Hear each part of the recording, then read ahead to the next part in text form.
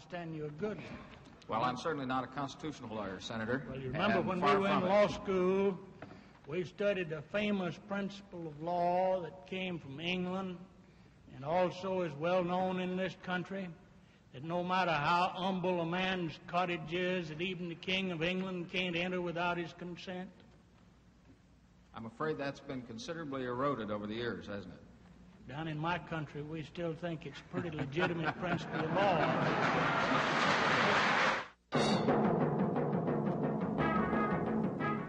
In the Senate of the United States, a resolution to establish a select committee of the Senate to conduct an investigation and study of the extent, if any, to which illegal, improper, or unethical activities were engaged in by any persons acting individually or in combination with others in the presidential election of 1972, or any campaign, canvass, or other activity related to it. From Washington, NPACT brings you gavel to gavel videotape coverage of today's hearings by the Senate Select Committee on Presidential Campaign Activities. Here is NPACT senior correspondent Robert MacNeil. Good evening. It's a brave man who comes to debate the Constitution and the powers of the presidency with Sam Ervin, but John Ehrlichman did that today. A good part of his second day before the Senate committee was spent in legal argument in an attempt to justify the burglary of Daniel Ellsberg, psychiatrist, by the White House plumbers. The rest of the time, Ehrlichman spent in denying the testimony of other witnesses and accusing the late J. Edgar Hoover of bureaucratic puffery. He accused John Dean of lying and John Mitchell of having a hazy memory. And he reiterated that he had no complicity in the Watergate cover up. The committee will spend at least another day with Ehrlichman and possibly two. Outside the caucus room world of Ehrlichman and Wilson versus Ervin and his applauding audience, there were other developments related to the Watergate crisis. President Nixon met this morning with the Republican congressional leadership. Vice President Agnew was there, and so was Republican National Chairman George Bush. When the meeting broke up, GOP Senate Leader Hugh Scott said he felt the Ervin Committee was correct in pursuing the subpoena of White House tapes and documents, but he predicted that the president would ultimately triumph in the Supreme Court. The Republican House leader, Gerald Ford, said he did not feel that the president's decision to withhold the tapes was having any adverse effect on the president's support in Congress. He said there had been a solidification of, the, of Republican backing of the president. But Senator Robert Dole of Kansas, Bush's predecessor as head of the Republican Party, said on the NBC's Today Show that he felt the president should tell all about Watergate. If the president's not involved, why not inform some of us? I think it's long past that we can say the Watergate will just go away, said the senator. Also, a Lou Harris poll released today contained, among other things, the results that 60% of its sample feel that the president should release the tapes and papers. The next round in the confrontation will come tomorrow, and Peter Kaye has a report on that. Tomorrow will bring another milestone in the continuing constitutional battle among the White House, the Senate Watergate Committee, and Special Prosecutor Archibald Cox. Subpoenas direct President Nixon to deliver presidential documents and tapes to the committee and the Cox by 10 o'clock tomorrow morning. But nobody really expects that to happen. Instead, Senator Sam Ervin told reporters today that he expects the White House to seek to quash the subpoenas. That legal maneuver would propel the thing into federal court and eventually to the U.S. Supreme Court. If the White House doesn't act, Ervin says the committee has two choices. First of all, it can seek a contempt citation by the whole Senate against the president, but Ervin indicates he doesn't want to do that. The other alternative is to seek a declaratory judgment.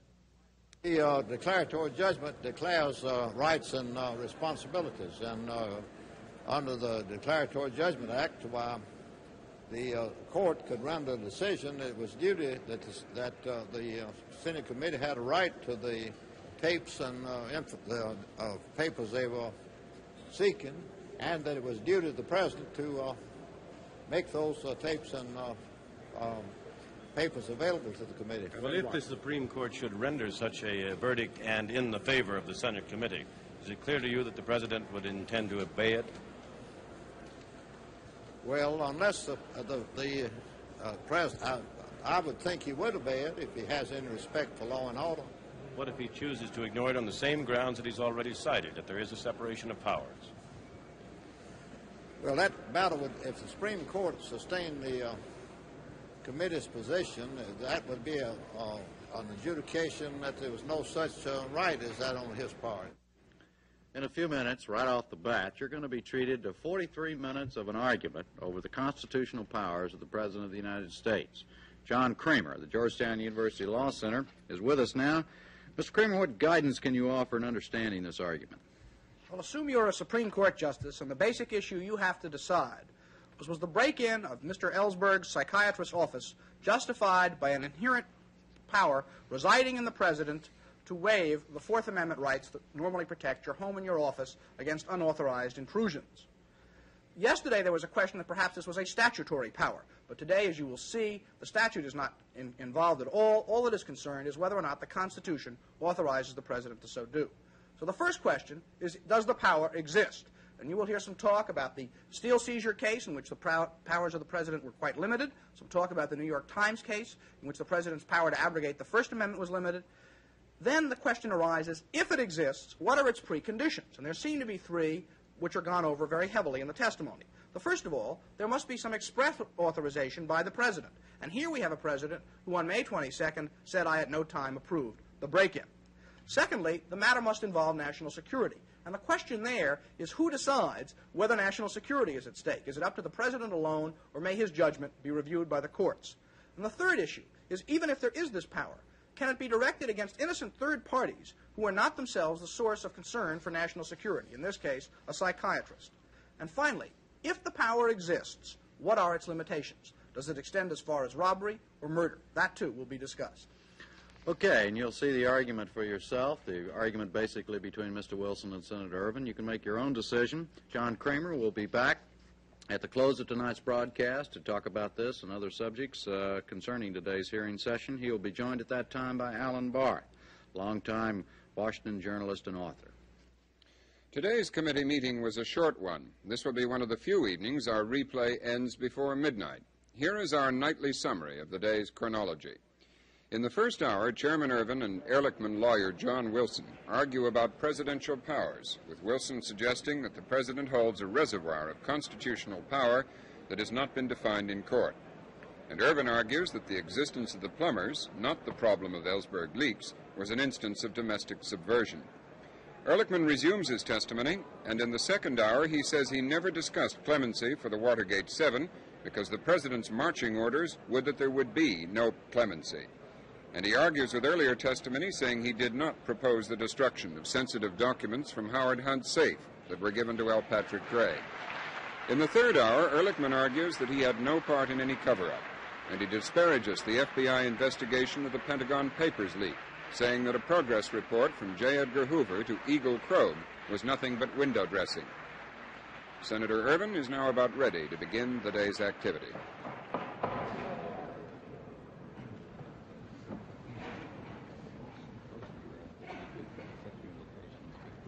Yes, yes, yes. I, understand uh, that Mr. Wilson wishes to address the committee on the legal question we uh, discussed with Mr. Ehrlichman and Mr. Wilson yesterday. And without objection on the part of any member of the committee, I will extend to him an opportunity to do so at this time. Thank you, Mr. Chairman. I want to say sincerely, I'm very grateful to you for uh, giving me this opportunity. I uh, have a feeling you, you have your own thoughts about this. This may turn out to be an exercise in mental calisthenics, but it'll be fun anyway. I, uh, I, can't, uh, I can't quote the Bible like you can, but I'm reminded of the, of the high school uh, physics anomaly of what happens when irresistible force hits an immovable body. And I, I, don't know which is which at the moment. Thank you, sir. Now, seriously, if I may, uh, in connection with uh, Section 2511, uh, our exchange yesterday was so rapid that I was not able to get across to you the, the genesis of my thinking. Uh, 2511 to me is a symbol. Uh, I would not rely upon 2511 as a source of power. Uh, it's, a, it's a recognition of the possibility of a source of power.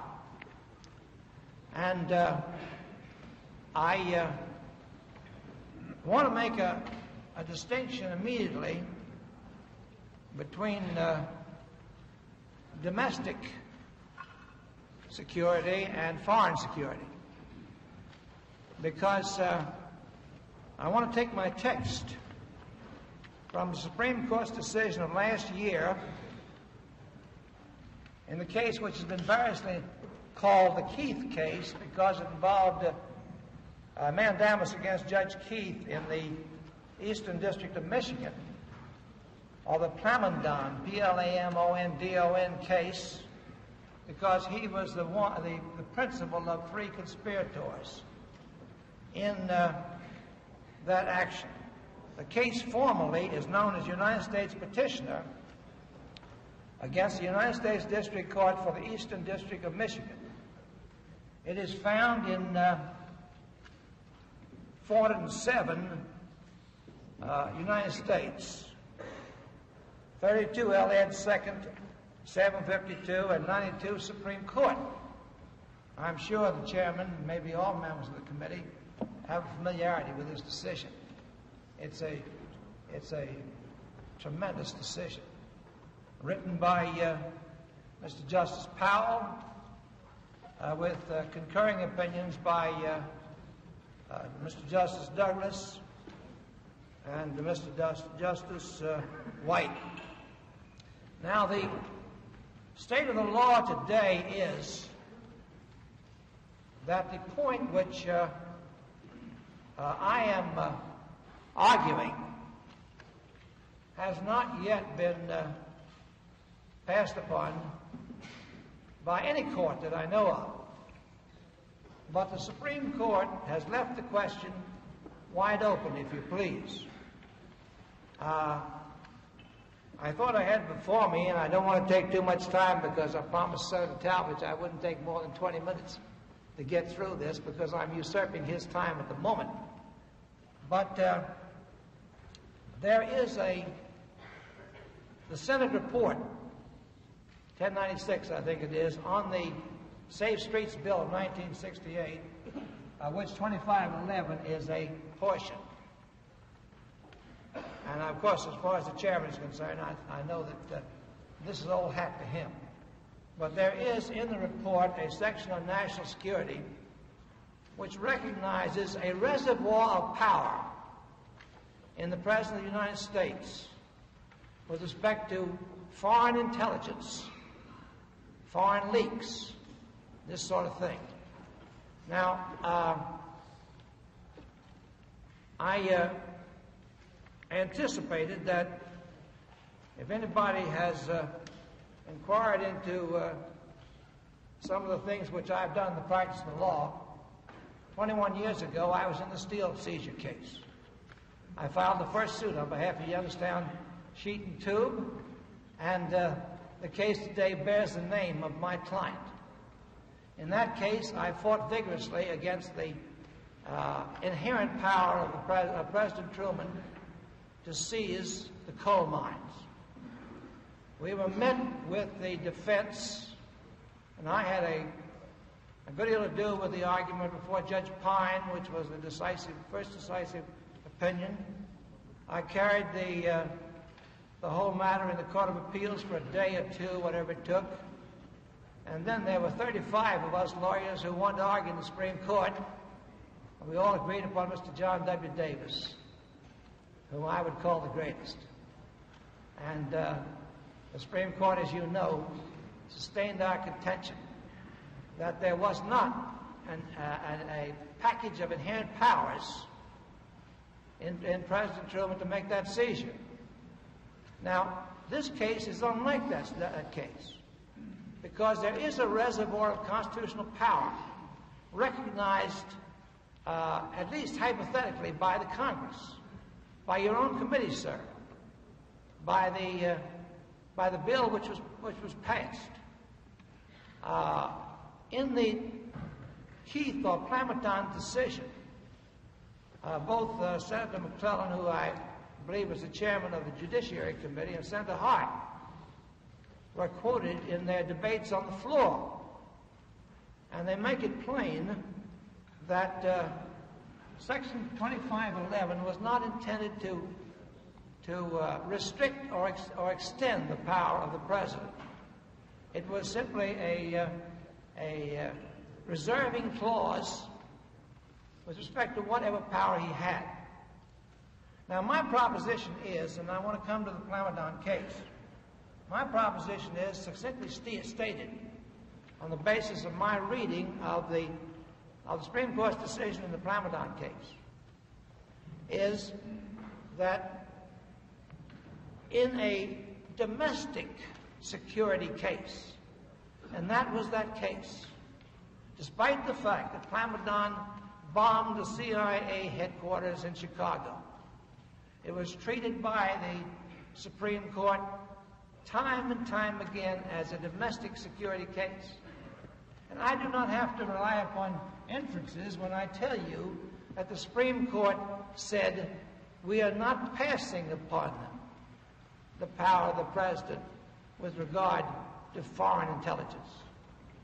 Now, the proposition that I'm offering to you and other members of the committee, if you please, sir, is that while it has been settled in the Plamondon case that for domestic security purposes, the Fourth Amendment uh, rears its protective head, and despite whatever may be the constitutional power of the president, he must apply for prior judicial action in order to uh, carry out uh, wiretapping of a domestic security case. As you well know, and as other members of the committee who are students of constitutional law know that I'm not sure he was the first one to say this, but Mr. Justice Douglas calls the Fourth Amendment the warrant clause. And uh, he, uh, he does what I think all scholars do in this area, and I'm Paul Pattering, Paul patting them. Did I get that out right? I'm not sure. In that, uh, the warrant clause seems to be a clear part of the preceding provision in the same article for that there shall not be any unreasonable searches and seizures. Uh, as you know, seizures which are reasonable may be done. You know, of course, that the warrant clause does not always apply to searches and seizures. You know that an arrest by a police officer of a felony on, on probable belief that a felony was committed, where he arrests a man inside his house, he may search the house or the immediate vicinity where the, where the arrested man is. He does not have a warrant. He did not have the warrant for the arrest. He did not have the warrant for the search. So there is some incursion upon the idea of searches and seizures. But coming directly to how I read the Keith or Plamondon case, and it is extremely interesting that I don't remember ever reading before that the Supreme Court would call upon the oath of the President in the, in the second article of the Constitution, the fourth clause, as a source of power. As you know, it says to preserve, protect, and defend the Constitution of the United States. And I have not found, perhaps uh, the chairman is uh, way ahead of me on this, I've not found any case where a source of, uh, of a presidential power has been drawn from the language of the oath. Whether it has before or whether it has not, the imprimatur of the Supreme Court through Justice Powell has now been put upon the language of the oath as a source of power. And it is a source of power, as the court says, and I'll read the beginning of this paragraph. We have begun the inquiry by noting that the President of the United States has the fundamental duty under Article 2, Section 1 of the Constitution, quote, to preserve, protect, and defend the Constitution of the United States, close quote. Implicit in that duty is the power to protect our government against those who would subvert or overflow it by unlawful means. And it goes on to say, in the exercise of that power, the Attorney General may be uh, authorized to issue uh, permissions to, to tap wires. Now, mind you, this case ends up with the result that because the tapping in this case, with the approval of the Attorney General, and on the, on, on the basis, let's say, of the, of the philosophy of 2511, the, the Supreme Court said that because it involved domestic security, it did not abrogate, supersede, or otherwise lay aside the Fourth Amendment.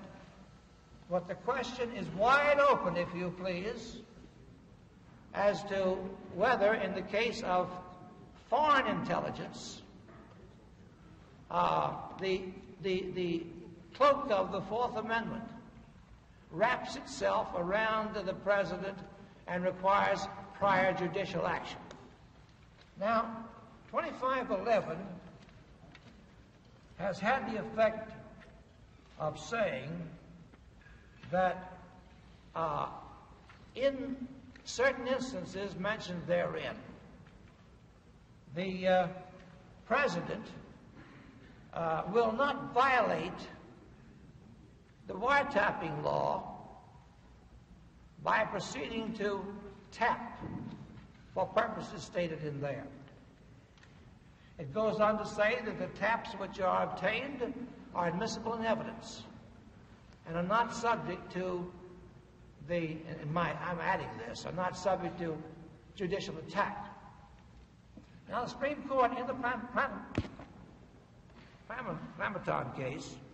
Is that, uh, isn't that the same case as United States versus United States District Court? I gave it as, uh, a few minutes ago as being the formal citation. but I didn't want to have to say that every yeah. time I cite the case. I don't want like to have to use that uh, big, uh, hard to pronounce so, you and I uh, surname. About, you and I are thinking about the same case. Yes, sir. Now, uh, no, nobody can dispute me on one point, and I'm being, I'm sticking my neck way out, that the Supreme Court reserved the question of the use of the reservoir, of a possible reservoir, let me put it that way, of constitutional power reposed in the president to violate the law in respect of foreign intelligence, foreign espionage, and foreign collaboration. That is in here. I can turn a half a dozen times to Justice Powell's position in making it clear that he was not deciding that question.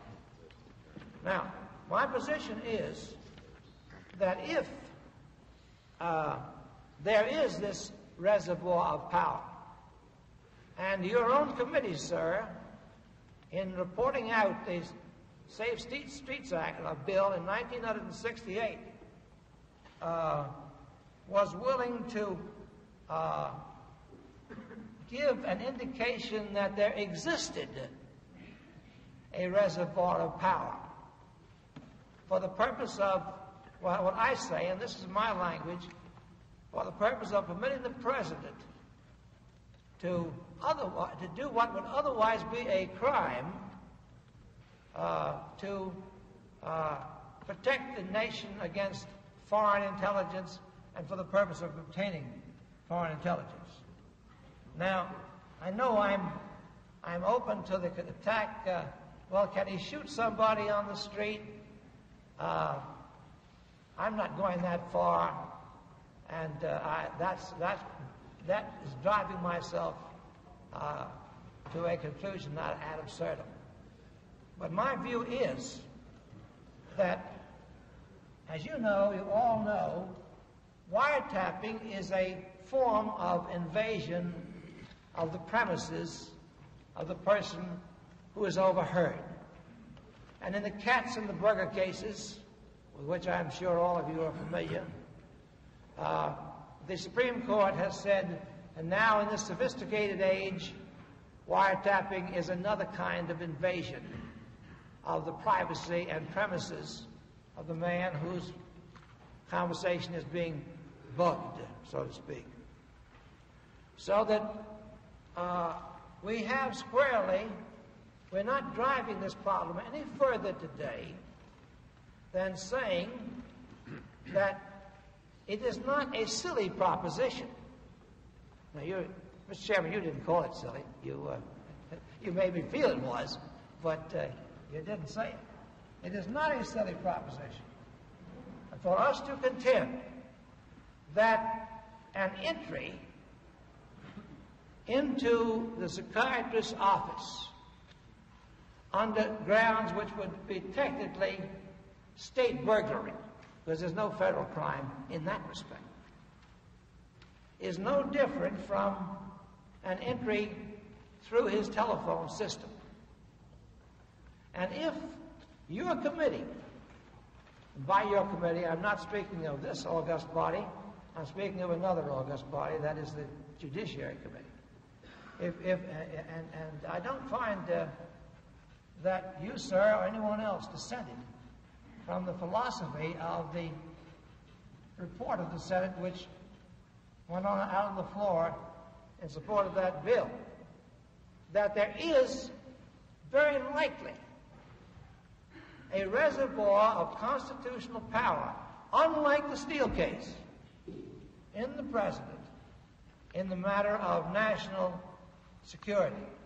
That's the reason, sir, that I made so bold yesterday, and I want to apologize for what might have been a rude interruption.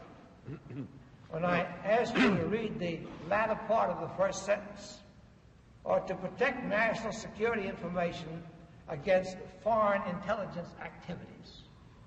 This is the kind of thing which I pick out of the symbol of 2511 lay it on top of the Panama case and say that today there is no one living. Indeed, there is no one in this room who can assert with categorical certainty that the President of the United States does not have the constitutional power to cause the entry under what would be otherwise illegal circumstances in pursuit of foreign intelligence. And I say again, without fear of contradiction, that we are invited to consider, when we get to that point, that the Fourth Amendment may have vanished from the scene. Uh, I think I must be running close to my 20 minutes. And I'm like you are, Mr. Chairman. I don't want to trespass upon it. I, uh, I do have some very excellent phrases from Justice Powell's decision. Uh, let me just conclude by quoting one from a section in his brief which has the Roman numeral 4. We emphasize before concluding this opinion the scope of our decision. As stated at the outset, this case involves only the domestic aspects of national security. We have not addressed and expressed no opinion as to the issues which may be involved with respect to the activities of foreign powers or their agents. And there's a footnote that is interesting. For the view that warrantless surveillance though impermissible in domestic security cases, may be constitutional where foreign powers are concerned. See United States against Smith in a FedSup case decided in 1971, and a treatise, I'm adding the word treatise, by the American Bar Association Criminal Justice Project, standards related to electronic surveillance in February 1971. See also United States versus Clay in 430 Federal Second 165. Thank you, Mr. Chairman. well, Mr. Wilson, I've uh, enjoyed your argument. I have long known you to be one of the nation's truly great lawyers.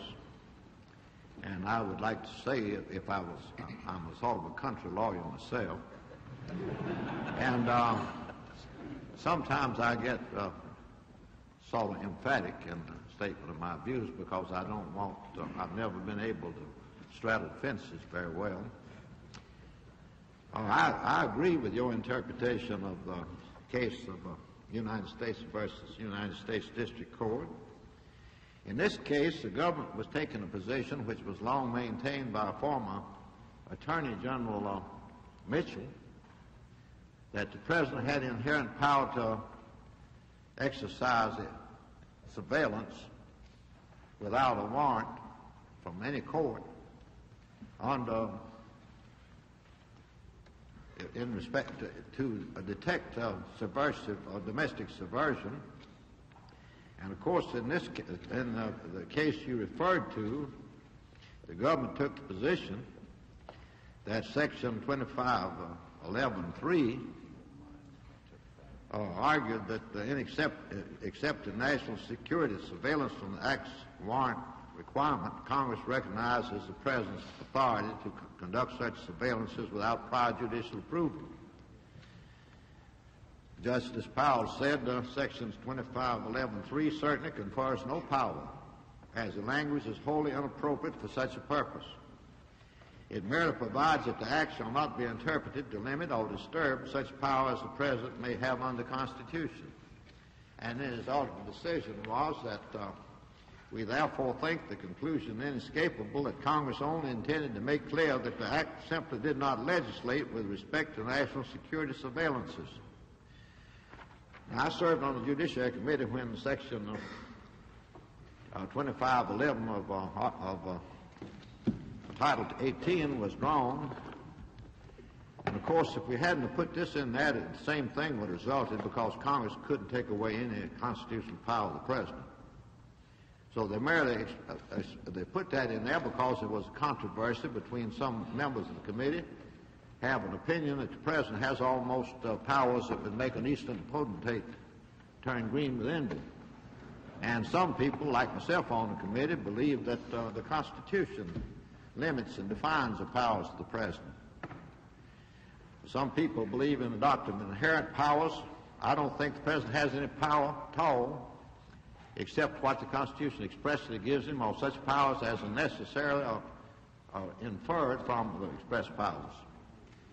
I think that's the reason he wrote the Constitution, to keep the, the President, uh, uh, as well as Congress, and the courts from exercising tyrannical power.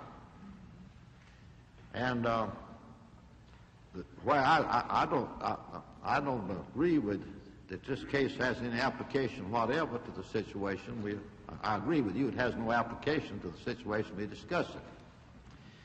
But where you and I part company is on the facts. Uh, I don't think we have a rather anomalous situation here. Here was the government. They weren't prosecuting Ellsberg through the agents of the Department of Justice for giving papers to Russia. They were just merely charging him with stealing some uh, papers that belonged to the government, as I recall. And here is uh, some employees of the White House go out and, for some strange reason, I guess, trying to further the, didn't trust the Justice Department to do the prosecuting all by itself, so they decided that they ought to go and steal some uh, documents from uh, the doctor of a man who was being prosecuted from stealing from the government, which is quite a peculiar situation, really. now, I can't see the slightest relationship between uh, Dr. Fielding's, I believe his name was, notions of the mental state of Daniel Ellsberg and foreign intelligence activities.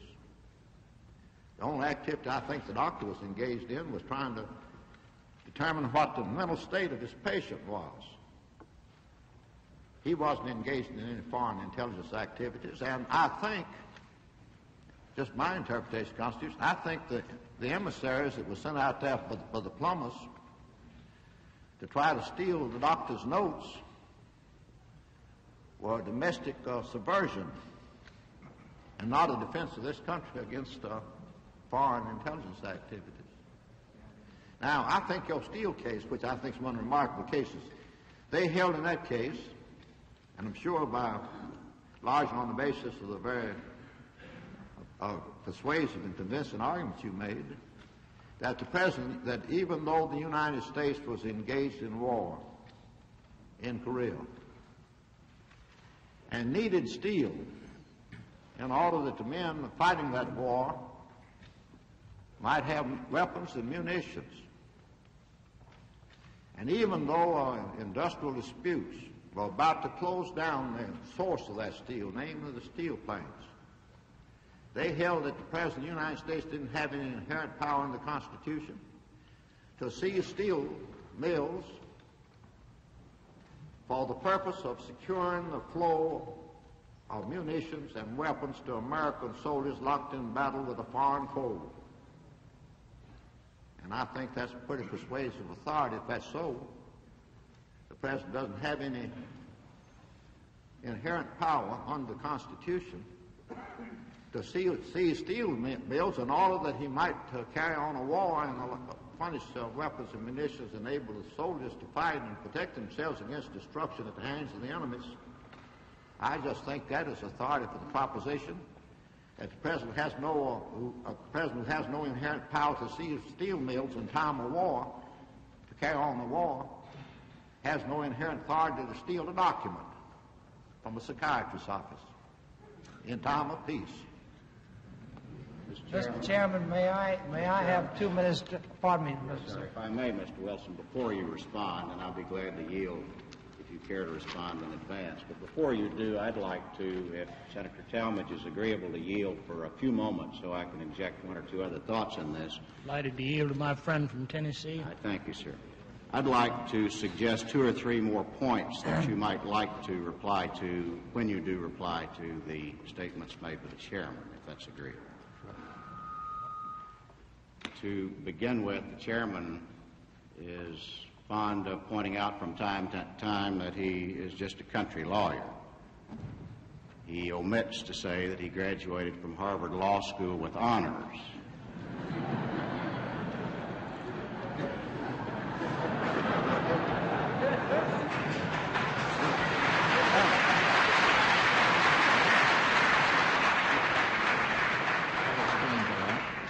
If senator from Tennessee will yield, I'd like to say a word in my own defense on that point. I had a friend introduce me to North Carolina audience. He said he understood I was a graduate of the Harvard Law School, but thank God nobody would ever suspect it.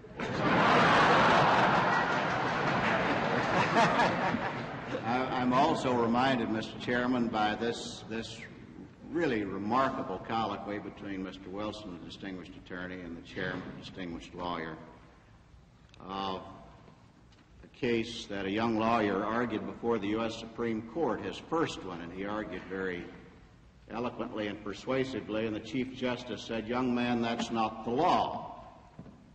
And the young fellow says, Well, it was the law until Your Honor spoke. So really, it seems to me that both of you have identified a basic and fundamental element of this colloquy. That is, the court has not spoken on the theorem to which you address your attention. But that then launches me into two or three other things that I'd like to suggest for your consideration. There is no doubt in my mind that there is the doctrine of implied power implied power of the presidency in certain respects that I shan't enumerate at this time, and implied, implied powers of the Congress. This committee sits by reason of implied powers. There is no reference in the Constitution to the authority of a congressional committee to in- conduct this investigation, but the power is clearly ancillary and necessary to the functioning, to the intelligent functioning of a legislative body, that is, the inquiry into a factual situation in uh, uh, a predetermination of the desirability or the undesirability of legislative remedies. So the doctrine of implied powers appears clear. The question is how they are implied, to what extent, and what do they say? If we address ourselves carefully to the proposition and the theorem that Mr. Wilson suggests, that there is a reservoir of power in terms of national security, not spelled out with particularity in the Constitution, but necessary as an aid to the functioning of the presidential role as Commander in Chief and as Chief Executive Officer of the government. And that they include an abridgment, if you please, of the Fourth Amendment in the event that the national security role applies, then it seems to me that the traditional and ordinary rules of construction require us first to try to look at the four corners of the document, which is a fairly cavalier way to refer to the charter document, the Constitution, but to look at the Constitution and all of the amendments to see where and from what source and from what clause or amendment such implied powers might flow. And that if we find conflict, as your theorem suggests, between the inherent authority of the Commander in Chief or the Chief Executive Officer of the government to protect the national security vis a vis the determination of foreign intelligence activity, we have a further responsibility under the doctrine of construction to reconcile apparent conflicts within the Constitution. In this case, the role of the Commander in Chief and the requirements of national security, and the fairly explicit and direct requirements of the Fourth Amendment of the Constitution, to reconcile them as we, if we can, just as we try to reconcile the apparently conflicting testimony of witnesses who appear before this committee and that if we can't reconcile them, then we resort to the most logical inferences we can in determining what the authors decided. The doctrine of construction itself, you determine legislative history only if the document will not speak unambiguously for itself. That then finally leads me into the question I'd like to put. It seems to me that we have a factual question here it is entirely possible to construct an attractive legal theorem that the President does or does not have this inherent authority, this reservoir of power, in terms of national defense. It is entirely possible to construct a theorem that that does not subsist and endure in the face of a contravening requirement of the Fourth Amendment, as Senator Ervin indicates. But don't we really then have to test both of those theorems against a range of factual situations? Wouldn't it be appropriate then to test, since the court has not spoken on the subject, to test the proposition by saying, could the president authorize a trespass, which otherwise would be a criminal trespass, against the private property of a person or a physician, in order to determine whether or not a domestic legislative proposal had leaked to the press? Or would the president be authorized to do uh, such things if they had reason to believe that uh, preliminary planning for foreign policy formulation was in jeopardy of disclosure? Or would the President have such activity if he believed that a signal communication system, for instance, for a foreign power was about to initiate a preemptive nuclear strike against the United States? Now, all the, the theorem would apply to all three situations, but the factual situation would be very different, it seems to me. And the court, in construing this situation, might look at it very differently. It would call to a varying degree on his authority to protect this nation against invasion, whether by troops or by nuclear weapons, or to guarantee the privacy and the integrity of, pub- of private premises and uh, functions. So, if we do apply a range of factual situations to this theorem, how does it wear? How durable is it? How sensitive is the Ervin theorem or the Wilson theorem to the application of these several factual situations, and thus how does that aid us in arriving at a logical uh, solution to the problem? Uh, ultimately, I suppose a court will have to decide that. But until a court does, this committee has the ongoing and further responsibility to examine it according to the present law, which is uncertain. And therefore, isn't the central fact issue probable cause? That is, what basis, what basis was there for believing that there was a foreign security threat before the Wilson theorem would apply, even in opposition to the Ervin theorem? So aren't we confronted with what we've been confronted with more or less throughout these hearings, and that is, what do the facts show? What is the reasonable basis for believing that a national security problem existed and of what gravity before we can apply ourselves to the abstract theorem of the law. Thank you. I just, if Senator Cameron's indulged, I'll make one more observation and I'll subside. I would like to argue, but I'm not going to, that you can't imply a power that contradicts an express power of provision. But that's not my point. I don't, I don't believe that Mr. Ehrlichman conceded that the President of the United States was the man that ordered this burglary. I thought this burglary was, all, was carried out by Mr. E. Howard Hunt, and I don't think that Mr. E. Howard Hunt has any implied or inherent power in the Constitution of the United States to commit burglary.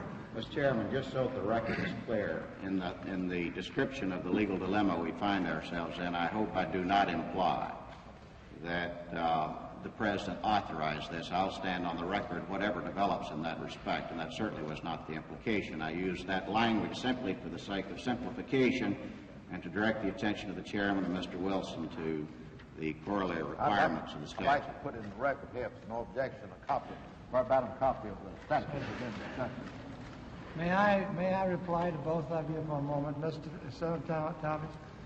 Uh, immediately to Senator Baker, uh, in this really uh, Bible on the subject of this Pam- Plamondon case, Justice Powell discusses, and I think in a footnote, that uh, at times it's difficult to find the line between uh, between domestic uh, security and foreign security. National security is a broad word. It's a, it's a misleading word in itself because national security might envelop both. But he, he recognizes that uh, the try to answer both of you with this one answer, and that is uh, on the ba- as, Senator Ba- Baker puts it, probable cause. Uh, that's that's that's as good a name for it as anything. I think if you'll go back to my symbol, 2511, you'll see that uh, the, chairman's uh, committee on the judiciary reposed uh, in the president's own absolute discretion by the use of the words he deems necessary to protect the nation. Uh, so that, so that uh, uh, I'm arguing that when it comes to the exercise of this reservoir of power in a foreign intelligence case, and I want to come to the facts for a moment on that and quit. Uh, that in that case, it's the president's discretion which is, which is uh, to, to, to be guided. Now, there is testimony here by Mr. Ehrlichman that the Russians either had or were getting this information. Now, this isolation that the chairman puts Mr.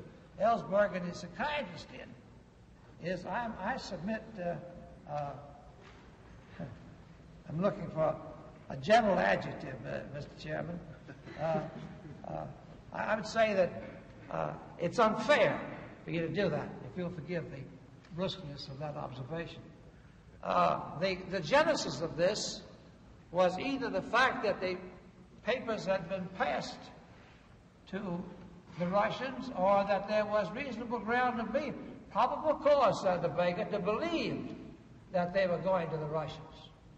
Now, this puts the cap of, uh, of foreign intelligence, not a cap, a not even an umbrella, a complete cloak upon this whole transaction. Now, I, I, I want to I want to end by reading what uh, the uh, Judiciary Committee, with no dissent from the chairman, whom I respect very greatly, and uh, I wish to return the compliment to him. I think he's one of the greatest. Uh, the following under the heading of national security. It is obvious that whatever means are necessary should and must. This, this is the Senate's language, Senate committee's language. It is obvious that whatever means are necessary should and must be taken to protect the national security interest, period. Wiretapping and electronic surveillance techniques are proper means for the acquisition of counterintelligence against the hostile action of foreign powers.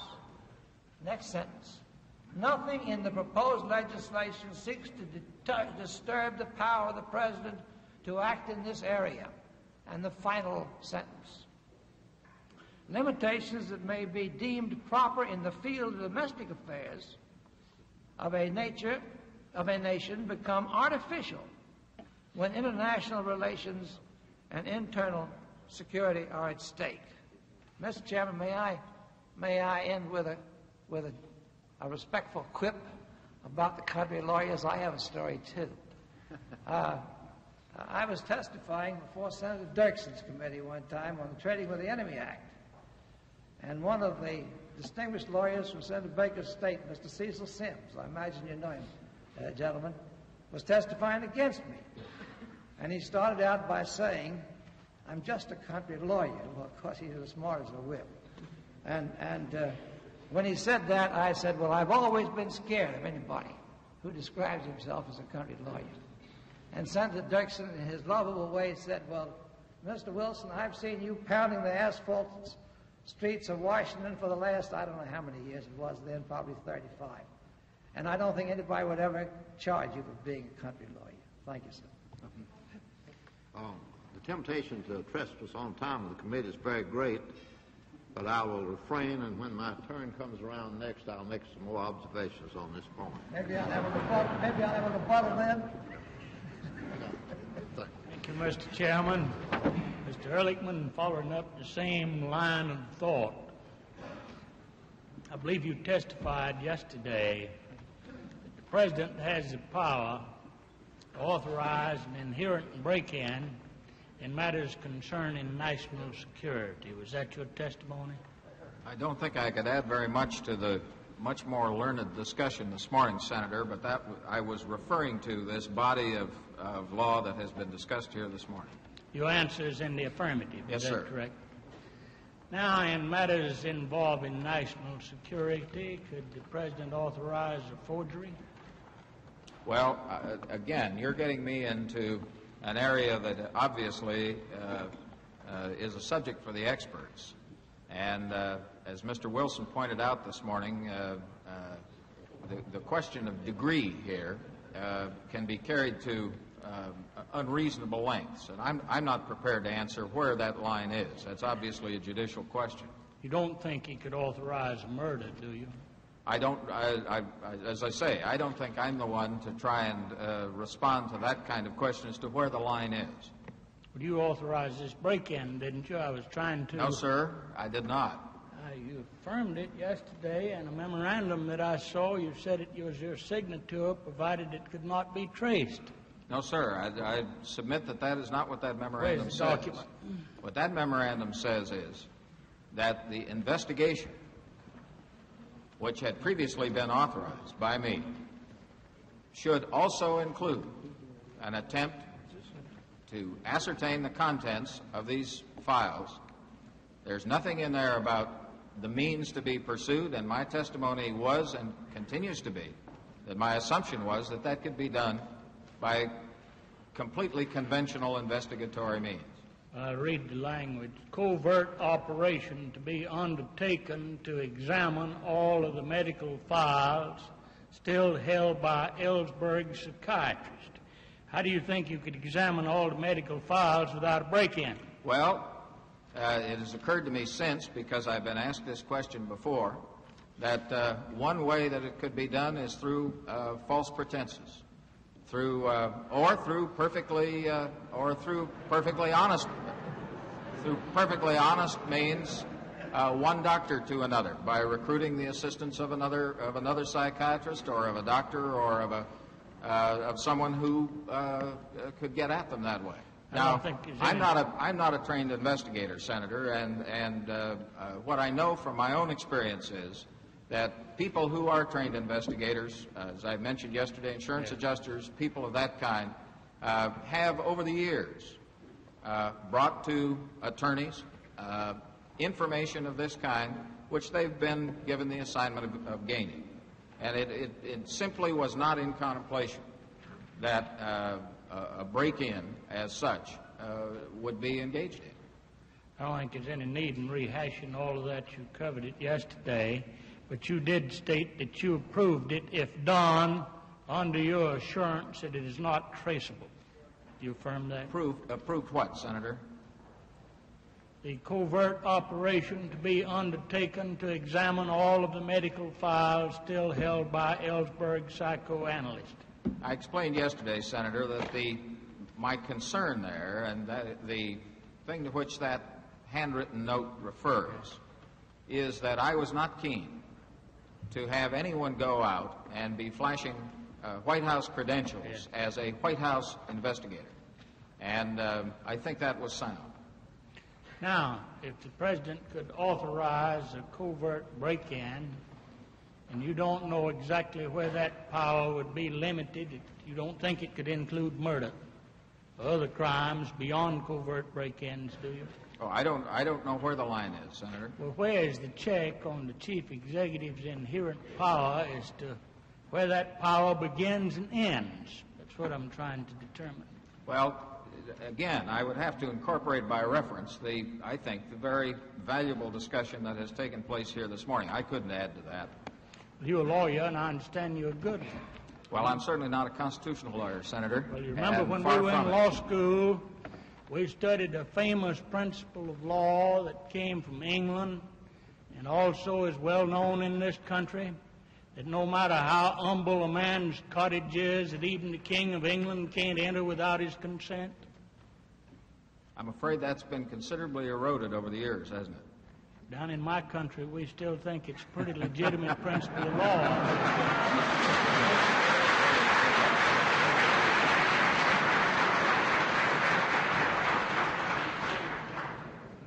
Now, you authorized this in the name of national security, I believe.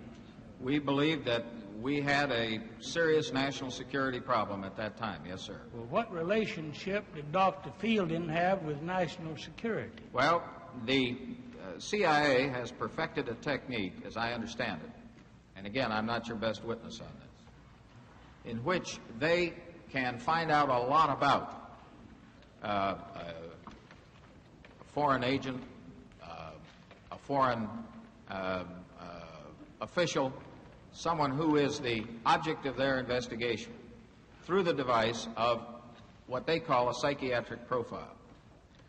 Two people in this special unit, Mr. Young and Mr. Hunt, had both had experience with the use of these profiles in the past. And they felt strongly that in this case, where there were so many unknowns, uh, we didn't know whether we were dealing here with a, a spy ring or a, a, just an individual kook, or whether we were dealing with a serious in, uh, uh, penetration of, of uh, the nation's military and other secrets. Uh, in such an uncertain situation that a profile of this kind might, certainly not positively, but might add some important additional ingredient which would, which would help to understand the dimensions of the problem.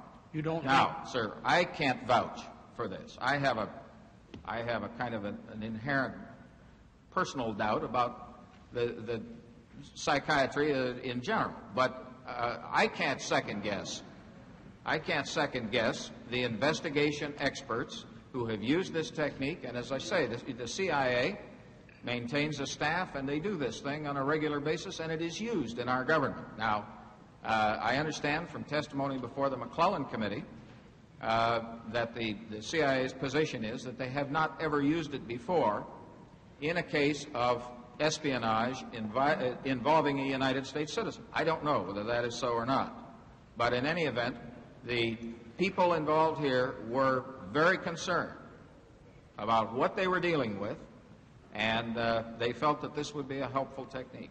You didn't think that Dr. Fielding was a security risk to the country, did you? Of course not. Now, the, the, the identity of the individual here had nothing to do with it, the, the doctor. The, the CIA had prepared a psychiatric profile, and it was not helpful. And when Mr. Young uh, went back to the CIA and said this is not helpful, they said, well, we don't have enough raw material to go on. You're going to have to get us some more factual information. Uh, and so this was then an expansion of the original covert investigation of this individual and his uh, co-conspirators and his pattern and how he got these documents and so on to include the assemblage of such other information as might be helpful to the CIA in finishing this psychiatric profile project. Let me give you a similar situation and see how you would compare it. Suppose someone you knew to be subversive had rented a lockbox in one of the banks here in Washington and had put some suspected documents in that lockbox involving the national security. You think that would give you the authority to rob that bank and go in there and take those documents? I haven't, I haven't any idea what the extent of such a power would be. Don't you think it's a It's- good it sounds- comparison? it- no, I don't think it's a good comparison, You sir, look because medical records in one instance, and I'm telling you there was some documents in a bank that might really involve national security. Yes, but you've put the case where we're going to rob the bank. I don't think anybody, at least I certainly didn't contemplate that anybody was going to Well, rob the change doctor. the word, burglarize the bank. Well, let's suppose that it were possible. Present- The, uh, on behalf of the committee, I want to make a request to the audience, and that is that the audience refrain from expressing its approval or disapproval of anything which occurs in connection with the interrogation of a witness. I Mr. think Chairman, it- I share that Yeah, view, and I I commend the chair for preserving order. I think it's in the national interest to do so, regardless of what the feelings or the emotions of the audience may be. This committee is engaged in trying to ascertain the facts. We're not conducting a show or an entertainment uh, program here. What I'm trying to do is find out what the authority of the President of the United States is to break and enter under what conditions and what other acts that do not conform to the law his authority may be. Mr. Chairman, could I, could I say a word on that subject? I yield to the senator from Tennessee. I, I thoroughly concur in the chairman's statement and the statement of Senator Talmadge. This committee has a tough job, and anybody who doesn't think so just ought to think about it for a little while. But believe me, it makes it infinitely tougher if we are cast in the role of conducting a circus or entertainment. It does not help the demeanor of these hearings. It does not help a witness. It does not help this committee, and it positively detracts from the objectivity and the even-handedness with which we've tried to conduct this undertaking. So I join with the chairman and compliment the chairman in making that observation. I very much hope that the guests of this committee present today and future guests of the committee will uh, scrupulously adhere to, to that admonition from the chairman. Public television's coverage of the Senate hearings will continue after a brief pause for station identification. Unabridged coverage of these hearings is provided as a public service by the member stations of PBS, the Public Broadcasting Service. From Washington, NPACT continues its coverage of hearings by the Senate Select Committee on Presidential Campaign Activities. Here again, correspondent Robert MacNeil. As we go back to the hearing, Senator Talmadge is inquiring about the authorization for the break-in at the office of Daniel Ellsberg's psychiatrist. If you had thought that the psychiatrist's profiles had been in a lockbox in a bank in Washington, you wouldn't authorize the entry, would you, Mr. Ehrlichman? Mr. Chairman, I wonder if, if we could uh, perhaps escalate this to the level of seriousness that it was viewed in the government at the time. This was not simply a, an effort to pick up gossip. This was an effort to crack what was, at that moment, the largest raid on top secret documents that had ever been made, made in the history of this government. I, think it would be much more. that I thought it was a thoroughly reprehensible act. But does one reprehensible act authorize another? Let, let me suggest the, uh, the magnitude or the co-magnitude might be this kind of a situation. Let us suppose that you knew that in that safe deposit box there was either a device or the conclusive information about some attack that was going to be made, a, a nuclear attack that was going to be made the next day. Now, does the power then extend to getting into that safe deposit box, or do we say uh, a man's home is his castle, his safe deposit is his castle, and so let the bombs come? Don't you think under those conditions you could have gone to the bank, and gotten those documents very hurriedly? I think probably there would be a very cooperative banker. And my assumption was that there might be a very cooperative psychiatrist or nurse or nurse's aide or someone who, without breaking and entering, would have uh, permitted. Uh, I don't argue with your statement that the president has power to repel an immediate attack. He has that power. But what we're talking about here is an unauthorized entry and burglarizing a man's premises Well- who wasn't even involved in stealing the papers in the first instance. I have to I have to say to you that as the seriousness of the problem is presented, I think you're exactly right in your suggestion that you could enlist the cooperation of individuals to avoid the the cracking of the bank uh, or the cracking of the of the doctor's office. And uh, uh, my reaction when I first heard about this was one of disapproval because it certainly wasn't in my contemplation that there was going to be a breaking and an entering here. My contemplation from the from the beginning was that this could be done without that. Now, did the president authorize that break-in? Not in express terms, no, sir. Not, at least not to my knowledge. Matter no. of fact, in the subsequent statement, he expressly denied it, didn't he? That I read his statement, and uh, I have heard testimony here. I, in, I would not be totally responsive to your question, however, if I did not add one thing, Senator. On the 24th of July, I sat in a meeting where the president gave Mr. Krogh his charter, his instructions. I must say that the president put it to Mr. Krogh very strong that he wanted Mr. Krogh and the people in this unit to take such steps as were necessary. And I can recall in that conversation specific reference to the use of polygraphs and summary procedure for the discharge of federal employees who might have been involved in this episode.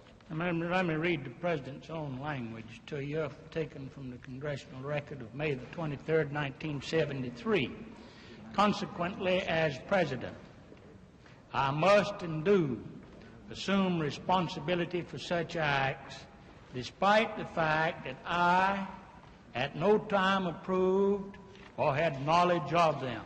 And he was talking about the break-in of uh, Fielding's office.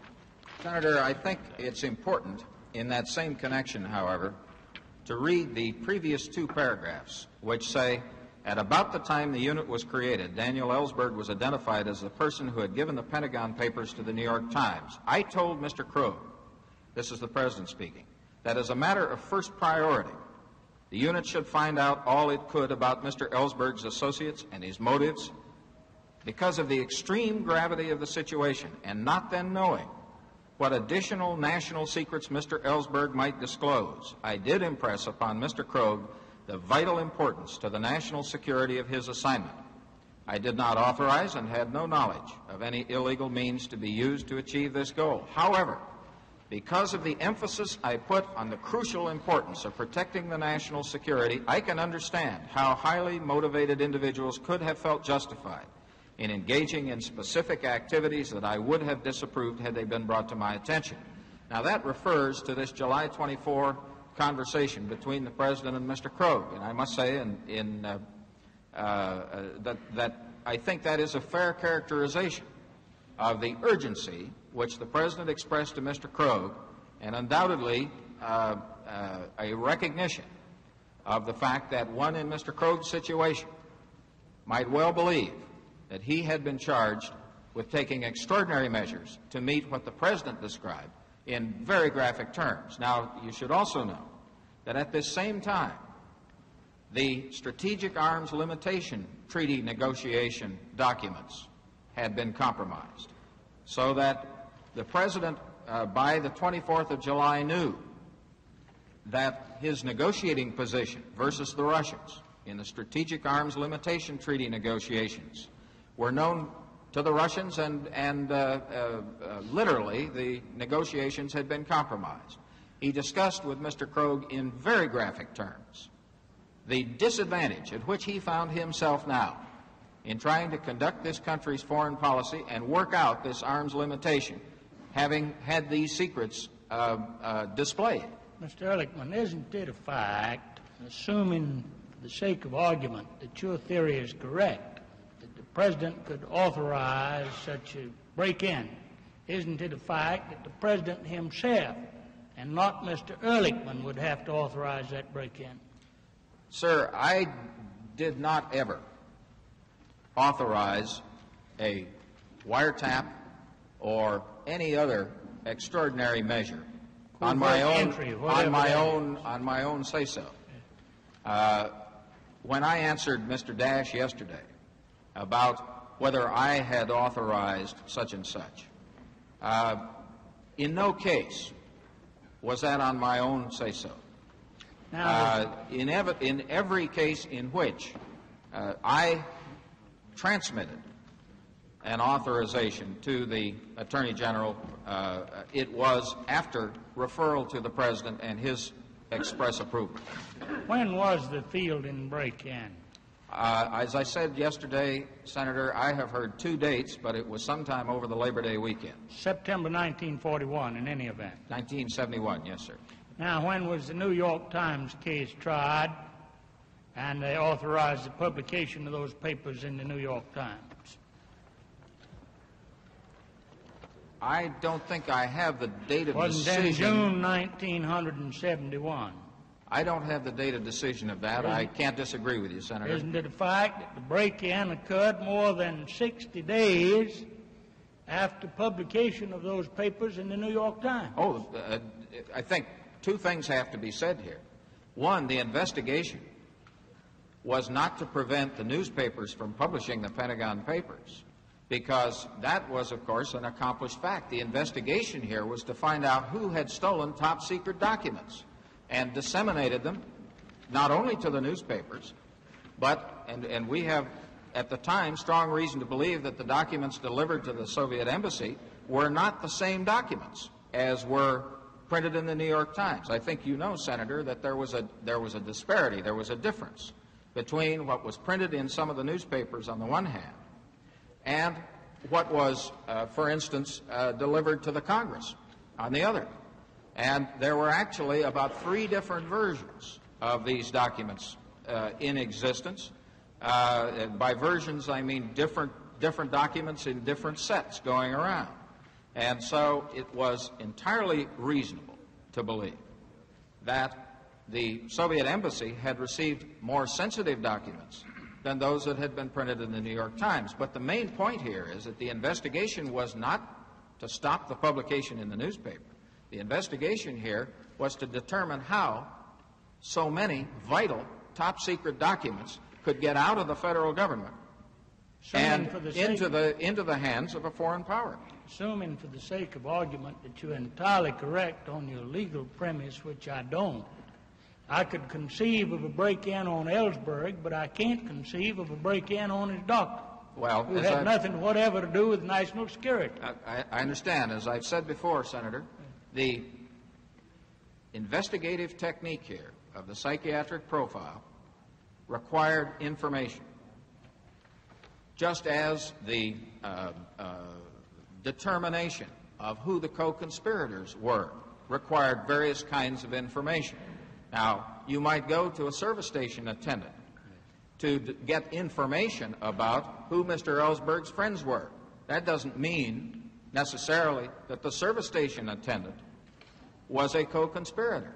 And certainly there's no suggestion here that the psychiatrist was in any way a co-conspirator. He was the holder of what they considered to be important investigation information, as I understand it. Why didn't the FBI handle the job? Well, I've, I've explained that yesterday. Uh, the situation was a unique one, uh, which the Attorney General described to us, in which the Director simply refused to permit his top people, uh, Mr. Brennan particularly, to conduct interviews of some of Mr. Ellsberg's uh, uh, family. And uh, it, was a, uh, it was a situation where the case was not being treated as a primary case by the Bureau, Uh, and, and Mr. Krogh came to us and said, I can't move the Bureau on this with the kind of cooperation that this case deserves. You're not saying that the President of the United States was helpless in trying to get cooperation of the FBI, are you? I'm saying that the Attorney General reported to the President an extremely difficult situation with the Director, which he felt could lead to the resignation of some of the top people in the Bureau. That while the Attorney General felt that he could reverse the Director's decision with regard to the suspension of Mr. Brennan, he did not think at the time that he could force the Director to an acceleration of the Bureau effort on this subject without, mean- a, without a total rupture with the Director. You don't mean to animate in any way, shape, fashion, or form, do you, Mr. Ehrlichman, that J. Edgar Hoover was in any way soft on communism or national security, do you? J. Edgar Hoover clearly was not that. At the same time, uh, it appears that uh, Dr. Ellsberg's father in law was a very close friend of his. And I think everyone who knew the director knew of his loyalty to his close friends. Mr. Chairman, my time has expired. I yield at this point. Thank you, Mr. Ehrlichman. Thanks, Senator Gurney. Chairman. Mr. Ehrlichman, since we're on this Ellsberg break-in again, I would like to uh, clarify the record of yesterday uh, just a bit. As I understand it, you testified in response to questions from Mr. Dash that the Justice Department, and more particularly Mr. Petersen, uh, had the information about the Ellsberg break-in a year ago. Uh, that was not of your own knowledge, was it? No, sir. Where did that come from? That came from Mr. Dean in the first instance, and then it came one step removed from Mr. Krogh, who quoted to me what Mr. Dean had also told him. That is what I would like to clear up, because of course this is a very serious allegation against both the Justice Department and especially Mr. Petersen, who was the chief of the criminal division. Uh, he has made an affidavit on this subject, and I understand this is on file in the Ellsberg case, which is otherwise known as United States against Russo. And I would like to submit the affidavit at this point in the, the record, Mr. Chairman. I won't bother to read it, but to summarize quickly what it says. It says, uh, and this is an affidavit of Mr. Henry E. Petersen, who's the Assistant Attorney General in charge of the Criminal Division of the Justice Department. He says, I have no information, I've had no information regarding an alleged unlawful entry on or about September the 3rd, 1971, into the office of Daniel Ellsberg, psychiatrist, until April the 16th, 1973, when the allegation contained in a memorandum from Earl Silbert was submitted to me. I am unaware of any information received by the Justice Department in connection with its investigation of the unauthorized disclosure of the Pentagon Papers.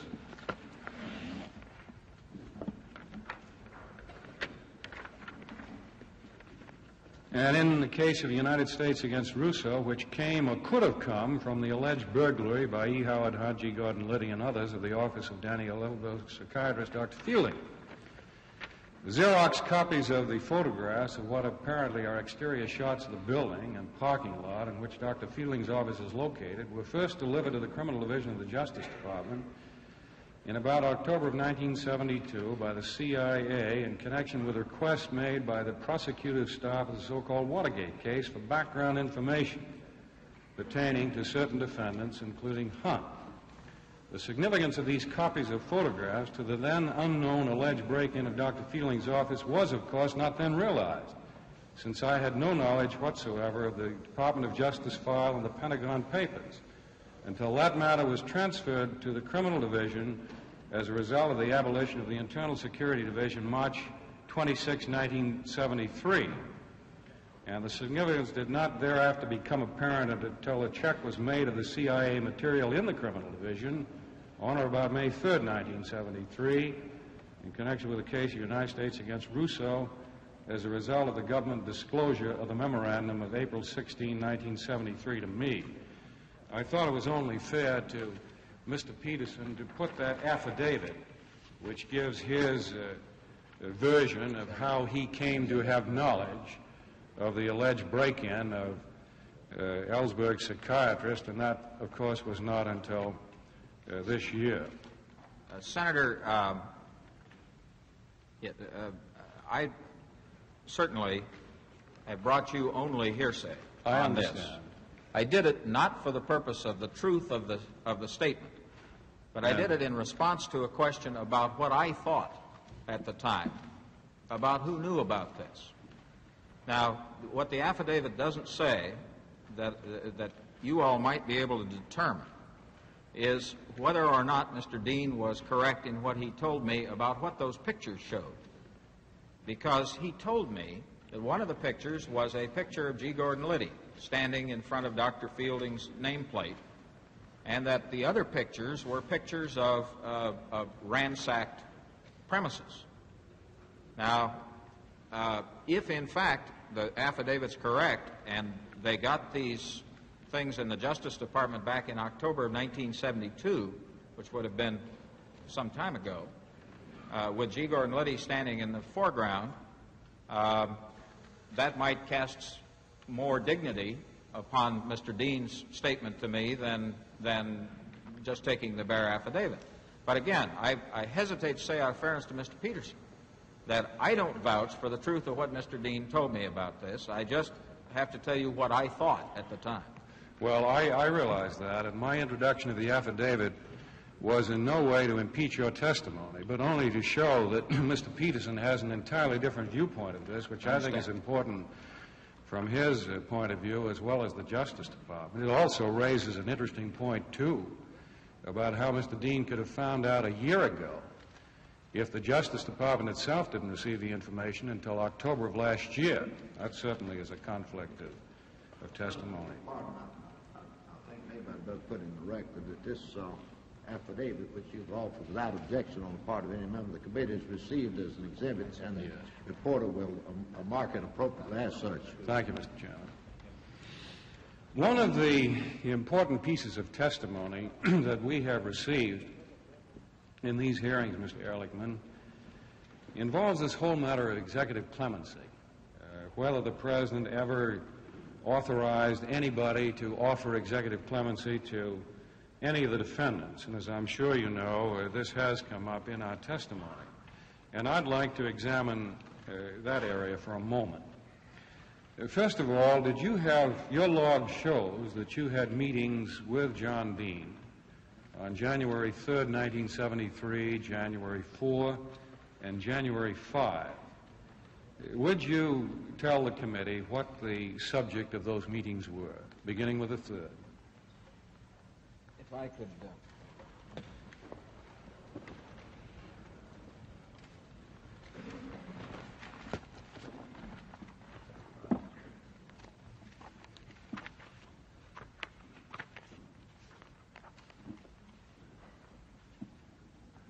On January 3rd, I met twice with Mr. Dean, once alone at noon and once at 7 p.m. with Mr. Colson.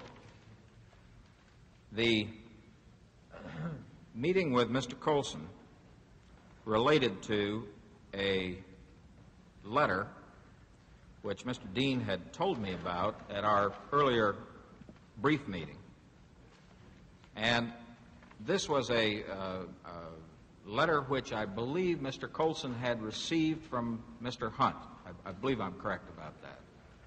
It, it was a very uh, melancholy and a very uh, uh, uh, passionate kind of letter. I think the letter is in record, as a matter of fact, and it talks about his being abandoned by his friend and, and so on. And uh, uh, it was on the heels of Mr. Hunt having lost his wife. Uh, Mr. Colson was genuinely uh, concerned and shaken by this. Uh, he'd had a long friendship with the Hunts, both Mr. and Mrs., and he had proposed to Mr. Dean uh, that he get together with Hunt, or with uh, Hunt's attorney at least, to um, uh, register his uh, continuing friendship and his and his compassion for Hunt's uh, loss of his wife and so on, and uh, so that Hunt would not feel that he'd been abandoned by his friend. Uh, this is the uh, thing that we discussed with Mr. Colson that evening at 7 o'clock. I took it as a as almost a given in the meeting that there would be some contact between Mr. Hunt and uh, Mr. Hunt or his attorney and Mr. Colson. Uh, and it was simply a question of what the proper conduct would be under the circumstances, uh, being obviously delicate to, to uh, have a White House contact of one of the defendants right at this particular point in time. So it was discussed, and it was discussed in terms not of a personal meeting between them, which is what Mr. Hunt apparently wanted in the, in the letter, but Mr. Colson talking with uh, William Bittman, who was then uh, Hunt's attorney, and conveying this message of, of uh, support, personal support, uh, through that avenue. Uh, Mr. Dean raised the cautionary warning that if anybody from the White House sat down with Mr. Bittman in a situation like this, that there was an inevitable opportunity for uh, uh, misunderstanding as to the purpose of the meeting, as to assurances that might or might not be given, and so forth. Uh, clemency was obviously uh, at, at, the forefront of everybody's mind in this meeting as one of the things which uh, was a potential danger area. And I advised both people at the meeting, Mr. Dean and Mr. Colson, of a previous conversation that I had had with the President on that subject. And indicated to them. that was back in July, was it? Yes, sir. Indicated to them the, the substance of that conversation, which was that the President wanted no one in the White House to um, uh, get into this whole area of clemency with anybody involved in this case, and surely not make any assurances to anyone. Mr. Colson said that he was sure that he could avoid that pitfall and have the, have the conversation. He was advised by Mr. Dean to uh, either take notes or make such mental notes of the conversation that he could reconstruct the conversation if, if the question ever came up again. And that is what Mr. Colson did. We had a subsequent meeting where. Before we go to the subsequent meeting, could you be a little more explicit in your testimony as to how the discussion arose about executive clemency, who brought it up, and who said what on the subject at the January 3rd meeting? I can't say who brought it up, Senator. We were going over the, the potential problems that could come from Mr. Colson having a contact either with Mr. Hunt or his attorney. Uh, it had been his uh, uh, firm practice not to have any contact with Mr. Hunt because of the imputation, uh, because, uh, uh, frankly, everybody knew they were close, that they had been close friends. There had been a lot of suspicion that somehow Mr. Colson might be implicated in the Watergate because he was a close friend of Mr. Hunt's. And Mr. Colson was leaning over backwards to do everything he could to avoid giving any credence or credibility to that suspicion.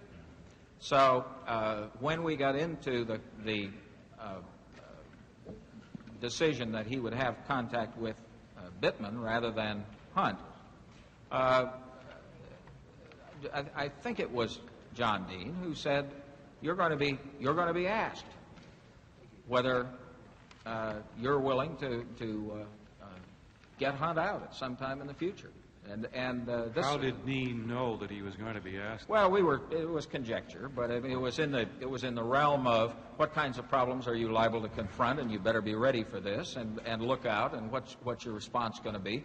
I think both Dean and I had some mental reservations about the the desirability of this, but Mr. Colson had a very strong uh, friendship urge, so to speak. I mean, here was this, this really moving letter, and he, and he was saying, I just can't leave this fellow without hearing from me. Now, how do we go about this? All right, now you have a meeting on, Jan- on January the 4th, the next day. Did that involve this subject at all? No, that included uh, Attorney General Kleindienst. And it had nothing to do with the Hunt problem. No, I don't believe so. I don't think it was ever mentioned. I see you had a meeting, too, on that day, January 4th, with the President. Did you discuss Watergate in any fashion on that meeting? I don't recall, Senator. Uh, that would have been my first meeting with the President after I came back from about a two week absence. My guess is that the, the um, well, let's see, about an hour of that, I think, was by my, no, let's see, that was with the President, Mr. Haldeman, and then Mr., uh, Dr. Kissinger came in for about 45 minutes of that meeting. And I believe that was a catch up session on just the, the uh, problems that had accumulated during my long absence, but I, I just don't have any recollection of specific topics. Do you have notes on that meeting at all?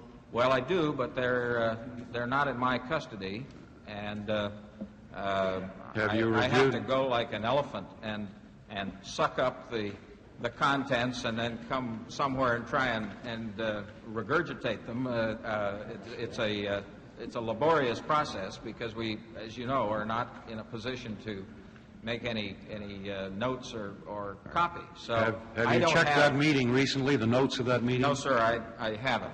And uh, all I can, all I have is the president's log that shows who was in the meeting. Let's turn to January the 5th now, a meeting with Dean and Colson. Right. Does this involve uh, Hunt and clemency again? What I don't know, Senator, whether that is the meeting where Mr. Colson reported on his meeting with Mr. Bittman or whether it was on the 25th of that month. There were two meetings with both Dean and Colson following the January 3rd meeting. My recollection is that at some point in time, rather soon after he had met with Bittman, Colson and John Dean and I sat down again, and Colson recounted to us what the conversation had been. Well, why don't you describe that to the committee, whether it was on January 5 or at a later date? He gave us the strongest kinds of assurances that he had not uh, made any sort of commitments, that he felt that Mr. Bittman had very guardedly and, if you'll pardon the expression, covertly uh, advanced feelers to him, which he rebuffed.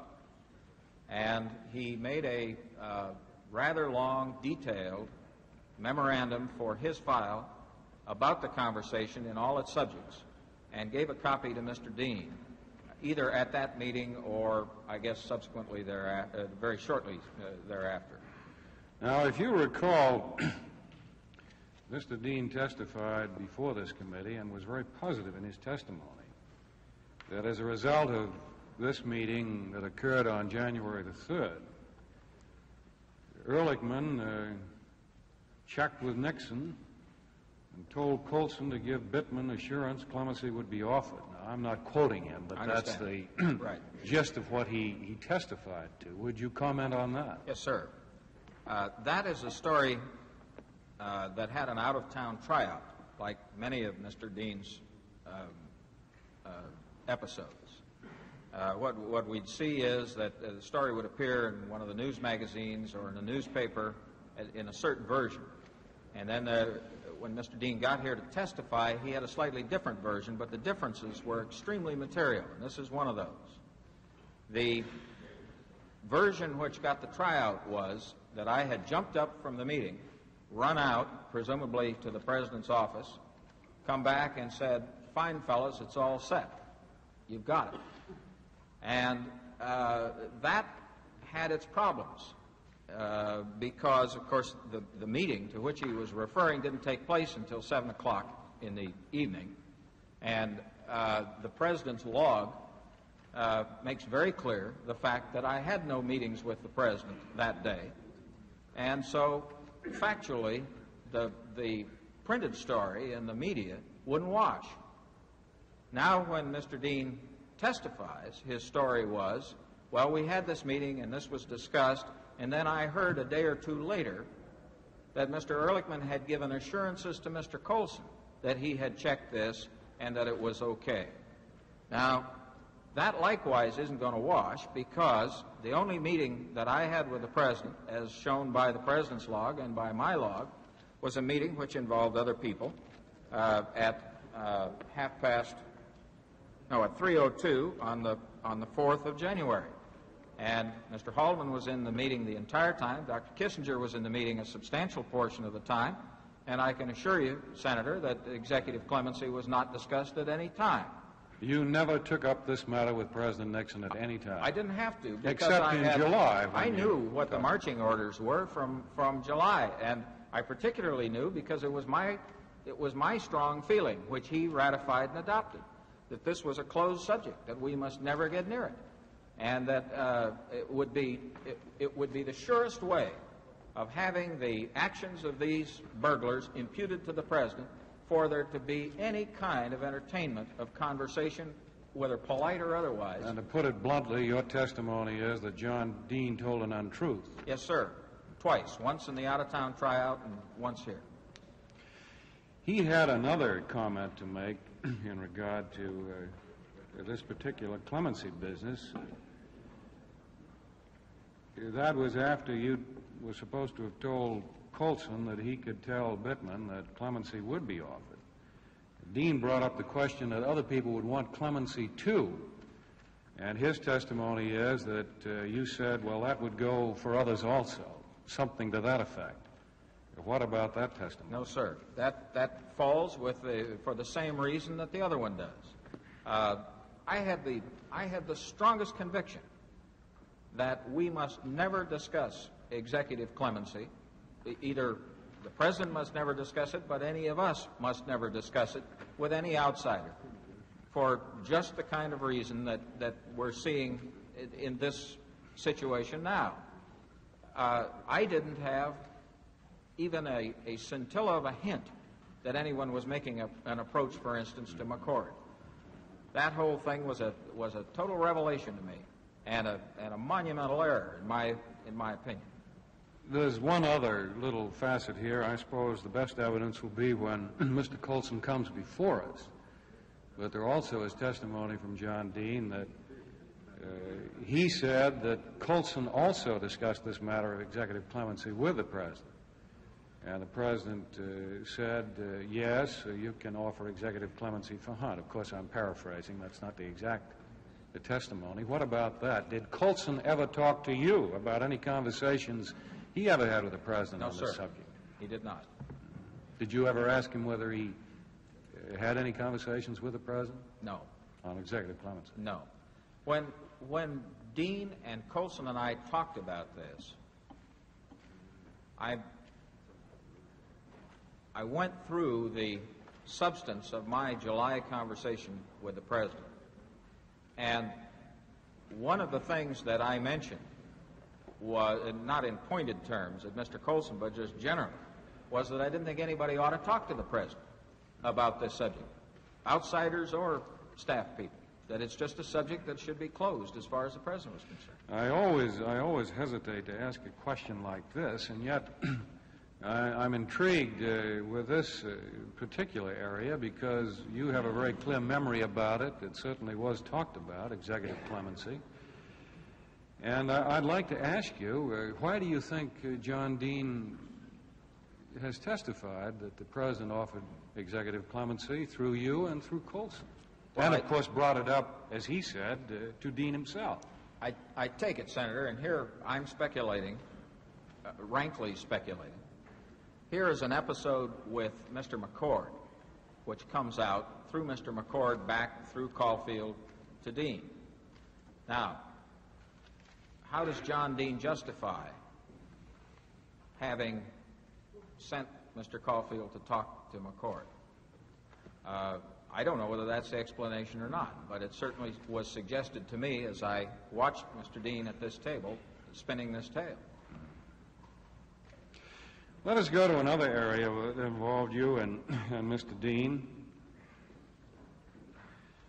And that are the papers that were taken from Hunt's safe after it was opened by uh, Dean's people. Some of these papers, as you know, were very sensitive. uh, some contained in a briefcase of Mr. Hunt's. Uh, testimony, of course, here is that Dean had a conversation with you about this, and you made some suggestions about uh, disposing of the papers that were in the briefcase. My recollection is that you advised uh, Mr. Dean to deep six these papers. Would you care to tell us about this meeting? That was a uh, meeting, if I, if I heard the testimony correctly, which was also attended by other people and should be susceptible of, of uh, uh, determination from independent witnesses. Uh, to correct an assumption in your question, Senator, I did not know the contents of Mr. Hunt's safe, uh, except in the most general terms.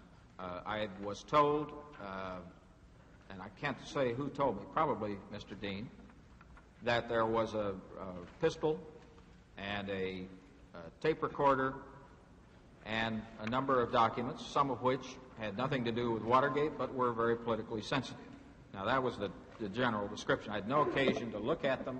I, I never saw them except as a few of them were sealed in an envelope and handed to Pat Gray. The uh, conversation uh, has to be weighed, the probability of such a conversation where I said, run out and throw this in the river, has to be weighed against what I actually did, which the, I think the witnesses who were in the meeting on the 19th will tell you that I did. We had a meeting for two purposes on the 19th, which included uh, Mr. Colson, Mr. Kehrli, the staff secretary, and Ken Clawson on the White House staff. The meeting was for, as I say, two purposes. One, to try and determine what the facts were about Howard Hunt's employment status, which was very murky at that point in time because of some lack of documents or some confusion of documents and things of that sort.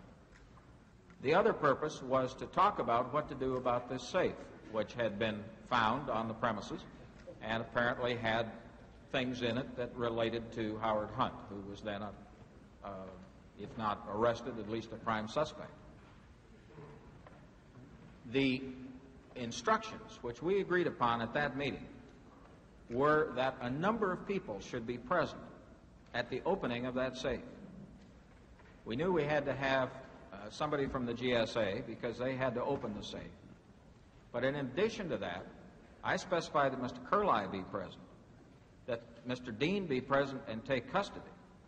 And then I think Mr. Kehrli suggested that a Secret Service agent be present under the circumstances because we were breaking into a safe in the White House. And so that was the arrangement that was agreed upon before that meeting broke up on the 19th. Now, having, and of course my purpose in doing that was twofold. One is kind of an extraordinary procedure, and I thought there ought to be people who later on could explain what actually happened. Two, I was concerned about the, the uh, uh, custody of these documents, the chain of evidence, the perfectibility of, of, of proof if the time came that there were important documents in there that bore on uh, Mr. Hunt's liability. So that was done. And it was done, I believe, that same day. Yes. Or that evening. Now, it, it seems to me uh, that it would have been folly for me at some later time then to suggest that the, the briefcase be thrown into the flood tide of the Potomac or, or uh, that these papers be thrown in the river or something of this kind. Now, there was in this story also the suggestion of shredding. I don't think in my life that I have suggested to anybody that a document be shredded. Shredding is just not something that I uh, have ever resorted to under any circumstances, nor proposed to anybody under any circumstances. As I said, we have a we have a great disposal system at the White House. If you really want to get rid of a document, you put it in a burn bag and you seal it up, and it's never opened again, and it goes into a furnace, and that's the end of it. But to get back to this second meeting, when John Dean uh, comes to you and tells you we've got some pretty sensitive papers here, and as he alleges, uh, you say, well, deep six this briefcase. What is your testimony on that? I did not, Senator. I, I have no recollection of that kind of a conversation. It was. Did you make the- any other suggestion to him that he dispose of these papers in any other way. We discussed what to do about some papers which he told me about in the safe that really should not be leaked. Again, we have to come back to our FBI problem. And he was genuinely concerned, and when he explained it to me, I shared his concern. These and are if the- these documents were simply wholesaled to the Washington field office of the FBI, that we would be reading about it in Time magazine in very short order. Now you're talking about the ones that were turned over to Gray. And so, uh, uh, Mr. Dean came up with this idea of turning them over to Pat Gray personally. And I certainly concurred in it. I thought that was an ideal solution to the problem. Now, did that come up at this meeting when supposedly the Deep Six uh, conversation came up? Well, I, don't, I gathered that that meeting was supposed to have been the meeting when Mr. Kehrli and the others were there. It would have, it would have necessarily been at that meeting because the die was cast thereafter. We had, you know, the 20 bishops had witnessed the opening of the safe at that point, and they're just, uh, uh, so it had to be that meeting. Now, I don't, I don't know what meeting he's referring to. We I think he said it was the 21st. the 21st.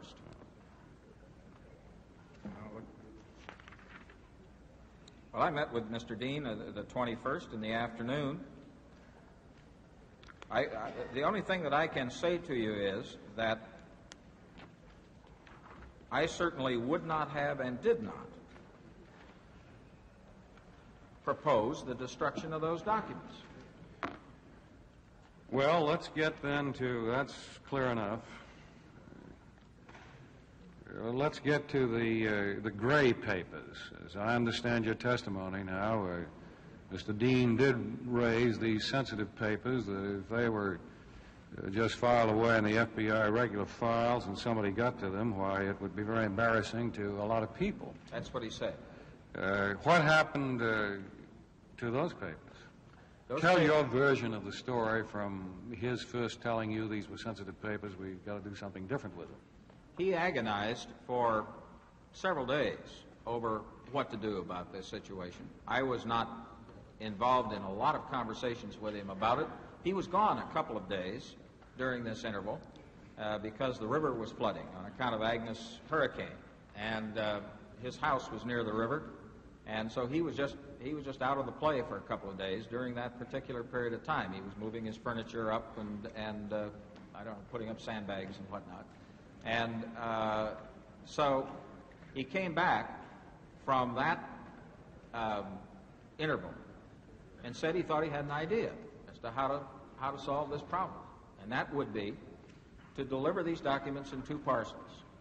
One parcel to the field office and the other parcel to Pat Gray. I certainly concurred in that suggestion. It seemed to me like a, a good way of making sure that the documents didn't leak as long as Mr. Gray held on to them. This was his suggestion to turn them over to Gray. Yes, sir. And then what happened? And I said that that either that I would get Mr. Gray to come over, but I think what I said to him was Mr. Gray was coming over that day for a, another appointment. And uh, why didn't he just bring him over when Pat Gray was there and, and deliver him to him so that two of us could say that the delivery had been made and we would put an end to this evidentiary chain, so to speak. As I understand, he did come over and he did bring the documents, and Gray and you and he were there. Then what happened? We were there. Uh, he said, "Pat, I'd like to, to give you these." It was it was um, the sense of it was that these were contents of Hunt's safe that were politically sensitive, and that we just couldn't stand to have them leaked. Uh, that uh, he- uh, proposed. I don't know whether he talked to Gray before or not, uh, because Gray seemed to understand the the setting and the and the premise, so to speak.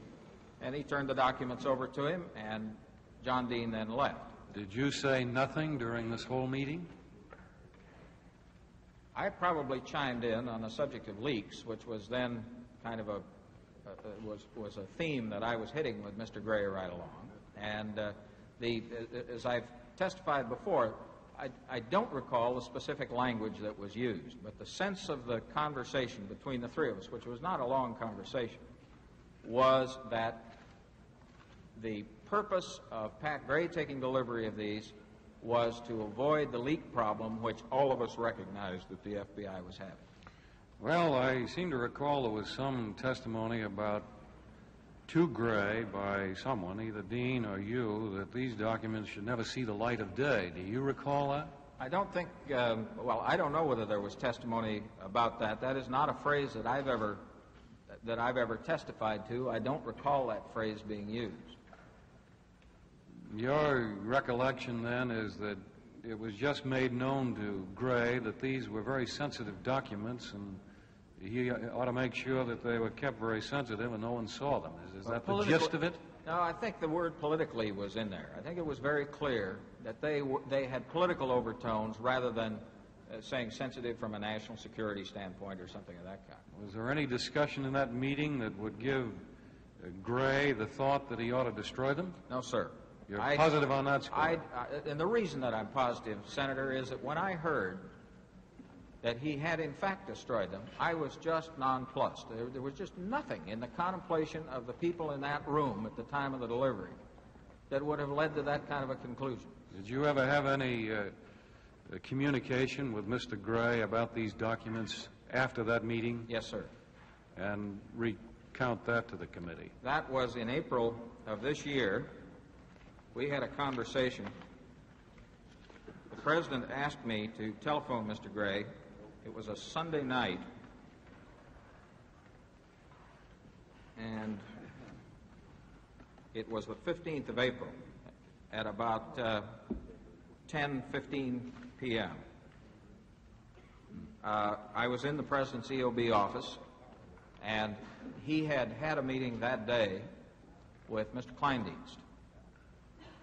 The subject of these documents came up at that meeting, and the president asked me to call Mr. Gray and find out what the documents were and where they were.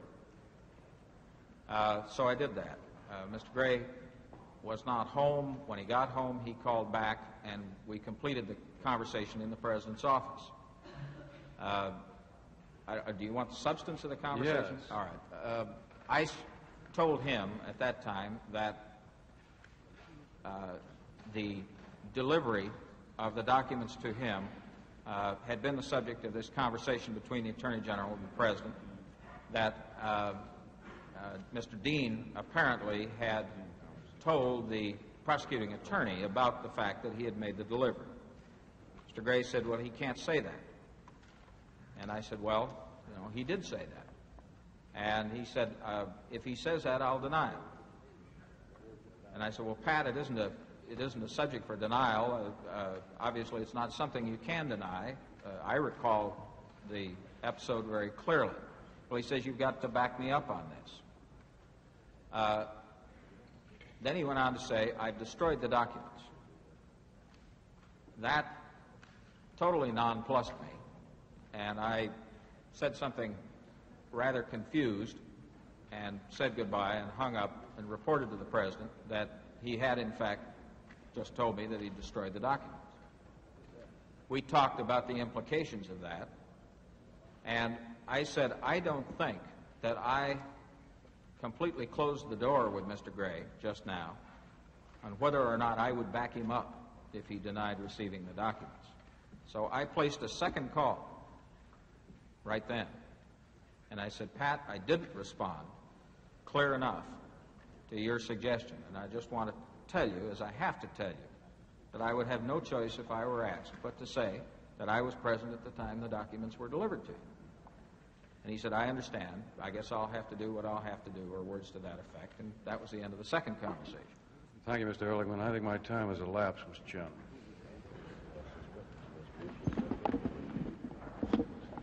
Unless there's some objection, the committee will take a recess at this time uh, till 2 o'clock.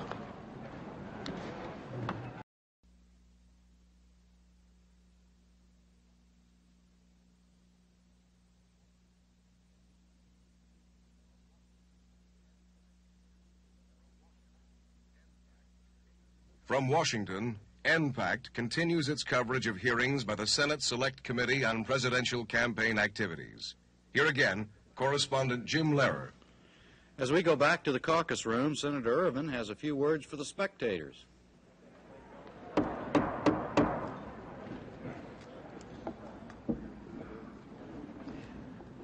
Now, I wish to re- reiterate the request to the audience to, to refrain from uh, expressing approval or disapproval of anything said or done. I'd have to say that probably Senator Baker and myself were guilty of a little contributory negligence this morning. We got sort of humorous ourselves and we laughed ourselves and probably set an example for others. But uh, I do ask, in the interest of the work of the committee, in the interest of fairness to the witnesses, that uh, audience will refrain from expressing approval or disapproval in any audible manner in respect to any matter or thing. It would certainly facilitate uh, the work of the committee as well as uh, contribute to uh, a proper hearing. Uh, Senator, in all, in, all, in, in all way. I thank you very much, Mr. Chairman.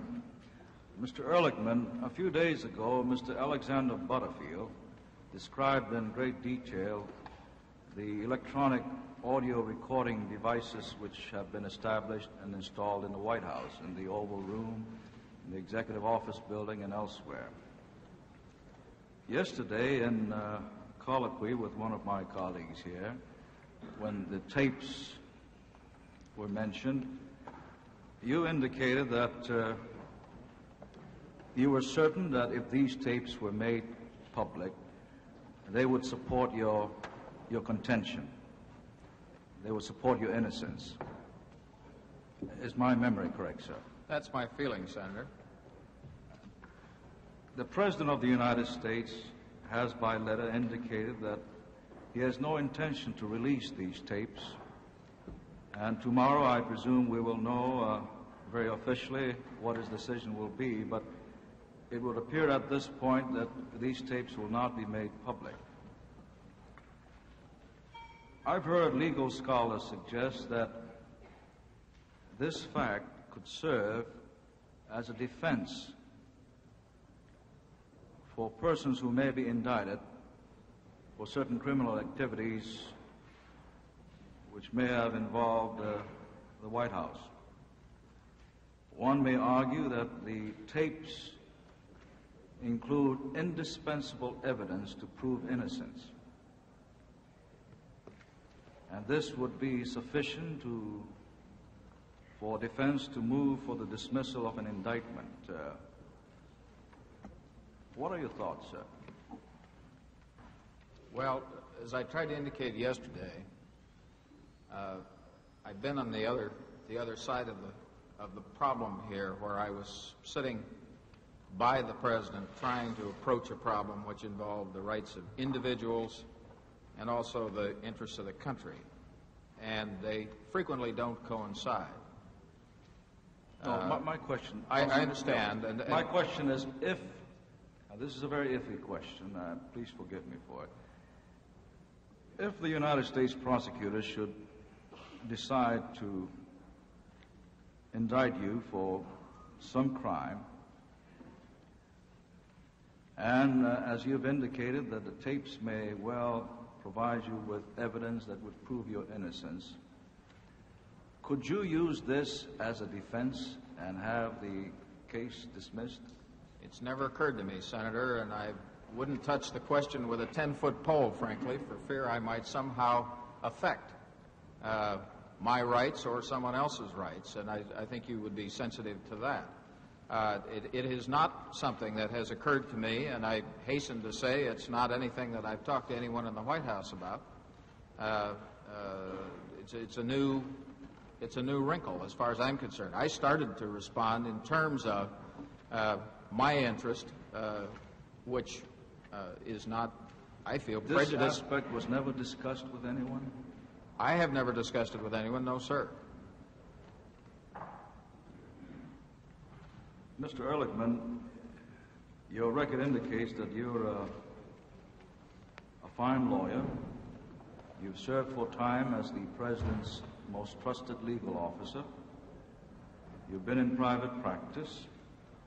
And so I, I, would assume that, like most of us here, you're aware of the, the Code of Ethics written and unwritten about the profession. Legal profession? Yes. Yes, sir. We have certain ethical codes. Now, in early 1973, April 1973, the so-called U.S. versus Russo-Ellsberg case was uh, uh, in full bloom. The papers were covering this uh, almost daily. It was a matter of grave interest and concern, not just for the press, but for, I think, members of the Congress and the people of the United States. Now, in April of 1973, you called the presiding judge, uh, Judge Byrne, didn't you? And invited him to visit you at San Clemente? Yes, sir. And it was to discuss a possible appointment of Judge Byrne as the director of the FBI? Well, generally speaking, yes. Not, not precisely, but generally. And you involved the President of the United States, who is also a lawyer, in the discussions? I involved him? No, sir, I did not. Did the President also meet Judge Byrne? Yes, but I can't say that I involved him. Uh, as Judge Byrne and I were walking, uh, the President came out of his office and came over and greeted Judge Byrne. What was the nature of your conversation with Judge Byrne? Uh, my conversation, Senator, uh, I, would like to go back and, and tell you how the conversation occurred, if I might, in order to put it in, in setting, if you have no objection. Please do so. It was evident that the Gray nomination was uh, not going to be sustained. And at the President's instruction, uh, I contacted Judge Byrne. As it happened, uh, before I talked to Judge Byrne, I talked with the Attorney General and told him of the President's instruction to me and of the fact that Judge Byrne was going to be coming to San Clemente uh, for a meeting. The Attorney General expressed his wholehearted approval of that meeting. He was a very enthusiastic um, uh, advocate of Judge Byrne to be nominated if Mr. Gray could not be. The conversation which I had with Judge Byrne on the telephone was substantially this. I said, Judge, uh, I have been asked by the President to call you.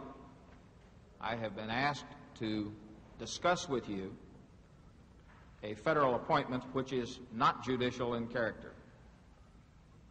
I don't know whether this is an appropriate time for us to have a conversation like this because I don't know what the present situation in your trial is.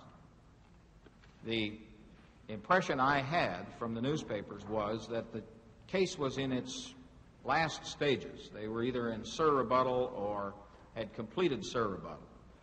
And I didn't know at that point uh, what the what the posture of the case really was. But you were aware at that point that the judge had not rendered his decision. Well, it was a jury case, and I, I was aware that the case had not the had not gone to the jury yet.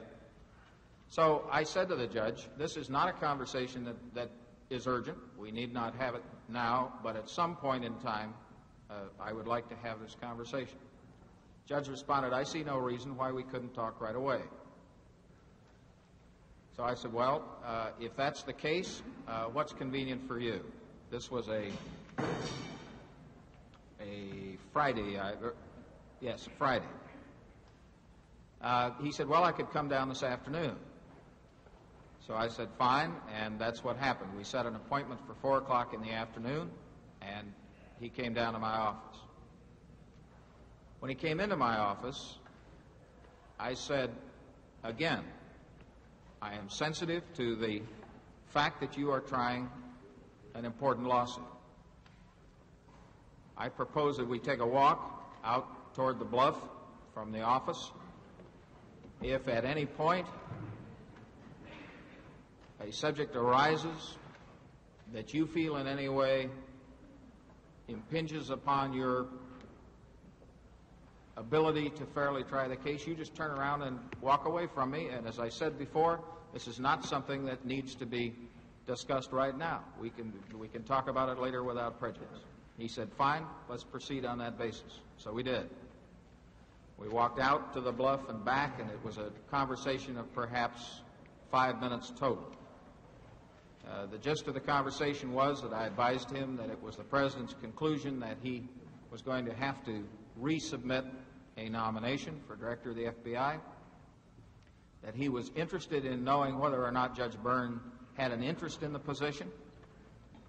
If he did, then obviously uh, uh, any decision on the President's part as to a nomination would finally be the President's, but that it would be uh, uh helpful to know of his interest. The judge indicated very strong interest. He told me a number of his uh, experiences with the FBI, that is to say, he had been a U.S. attorney, he had had a number of experiences with the Bureau, he had some ideas about how the Bureau was falling short, uh, some ideas about how it might be improved. He mentioned uh, just that he had those ideas without getting into it in any great detail.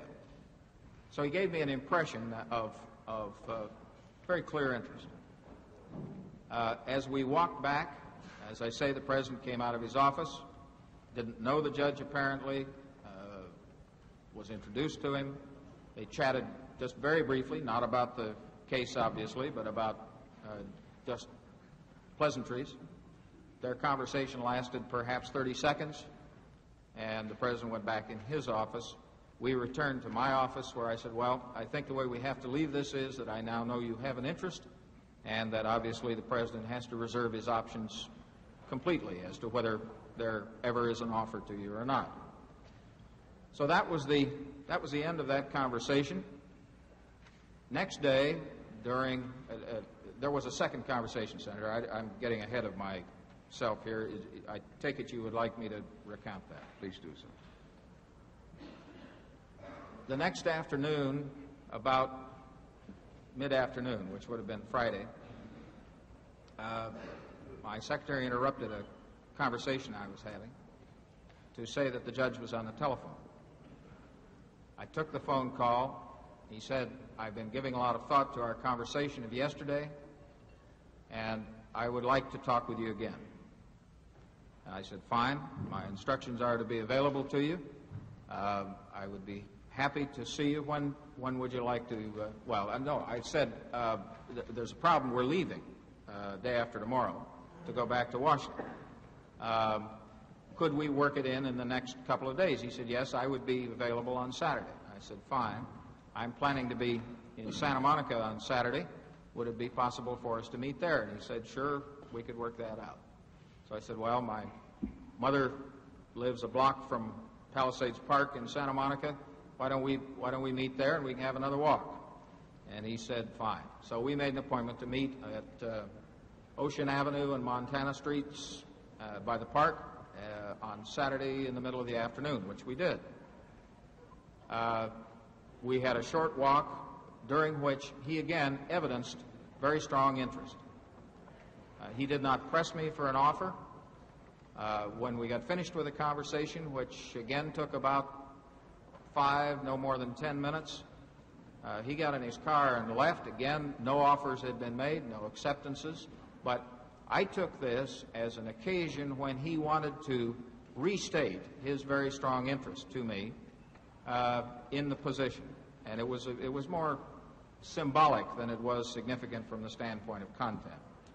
This all occurred at a time when Judge Matthew Burns was the presiding judge in the case of United States versus Russo, Ellsberg, and others. And I think it would be an understatement to say that your interest and the President's interest in the outcome of the case was more than casual. You've indicated your interest in the Ellsberg situation uh, to the extent that you had his psychiatrist's office uh, burglarized. This was a case of major importance as far as the Justice Department was concerned. You wanted the outcome to be in the favor of the government. And under all those circumstances, you still felt it was proper to call upon the presiding judge to make this offer. Don't you think it was highly improper and unethical? Senator, I can't accept your question without quarreling with some of your assumptions. I'm, I'm sorry. But uh, you very, very easily stated that I was the instigator of the burglary of Dr. Fielding's No, office. no, no. That- us say that- that you have nothing to do with it. I can't agree. I can't agree with that. But you were aware that a burglary did occur. Well, I'll accept, You, you I'll had accept approved, that. But you it- had it- uh, approved a covert operation to get me- information legally, as you said. Let me respond directly to Yes. your directly to your question. I can assure you that there was no such motive in in my thought at the time of this of this meeting. And I'm sure that is also true of the Attorney General, and I'm sure it's true of the President. We were trying to get the best man that we could to be director of the FBI, and that was the sole and singular motive. Now, I have scoured the canons of ethics uh, to find, and I bring this up because you referred to it at the outset, to, refine, to find where I had in any way uh, infringed upon them. Bear in mind, I was not in the capacity of an attorney. I hadn't been in the capacity of an attorney for some three years in the government. I was a member of the executive branch. I was the president's agent in this matter, and my function in this was purely ministerial. I don't accept the suggestion that I was an officer of the court, so to speak, in this, in this setting. I simply wasn't. Now, I take some comfort from the fact that I did this with the full knowledge of the Attorney General of the United States, who had all of the, all of the facts, which I did not. He was aware that you were going to offer the FBI directorship to the judge? Well, I didn't offer it. I, he was aware of precisely what I was going to do. front of him. I, he was aware of precisely what I was going to do. Weren't you aware that this would present an impression of impropriety? I was not. Why were you sensitive about this? Why was I sensitive about That's about the it? word you well, used, I was I was sensitive as anyone would be, because I was not personally as familiar with the progress of that trial at that time as you evidently were from the reading of the press. I had to depend on the judge to tell me the proprieties in this matter. He was in possession of all of the facts. Then I was get- in possession of few, if any, of them. Then I gather you were much surprised and shocked with the reaction of the public and the reaction of the legal profession when this was made known. Uh, in candor, I have been surprised, yes, sir. And I think it is because, uh, in, in part because, it has not been fully explained. I'm grateful for this opportunity to tell exactly what happened. And you still maintain that the Attorney General and you, in calling upon the judge, did nothing improper unethical? I, I would be very grateful to you, Senator, if you could specify uh, the canon that you feel applies here.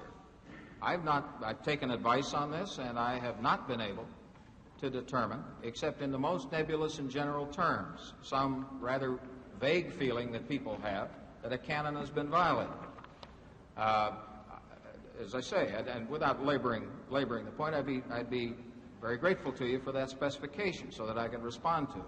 I, I appreciate the sensitivity of approaching any sitting judge. Now, I don't imagine there's a federal judge in the country who doesn't have a case involving the United States government before him on his docket somewhere or in the process of trial. Uh, it may be that the logical uh, implication of what you suggest is that the executive branch should never offer a federal judge a, a position. But this was not an ordinary case. Well, you know, He that reminds me of the story of the. You mean you weren't interested railroad in the outcome of the Ellsberg case? It, it reminds me a little, Senator, of the, of the story of the railroad claim agent who had the picture of the cow on his wall. And the fellow says, what, What's so special about that cow? And he said, That's the only ordinary cow that the railroad ever hit. Uh, every, every case in a, in a matter of this kind gets to be the, the extraordinary case, I'm sure. Uh, I think that in approaching this as I did, talking with the Attorney General, talking with the judge in the terms that I did, I hedged this about with as much precaution as I knew to do and still carry out the, the explicit instruction that I had from the president. You had conversations with the judge on two separate occasions. Did you at any time advise the judge of your knowledge of the break-in into Dr. Fielding's office? No, sir. Why didn't you advise him that, sir? Well, I think that would have been extraordinarily improper from two standpoints. I'd like to know. Well, the first one, of course, was that I was under a strict injunction from the president as to that entire national security subject matter. But secondly, for a member of the executive branch to talk to a sitting judge about a matter affecting a trial before him at that time without going through the counsel to the president or the attorney general or the, the trial lawyers involved in the case, it seems to me would have been, if, if what I did was improper, that would have been impropriety squared. Uh, uh, that would have been the farthest thing from my mind to do.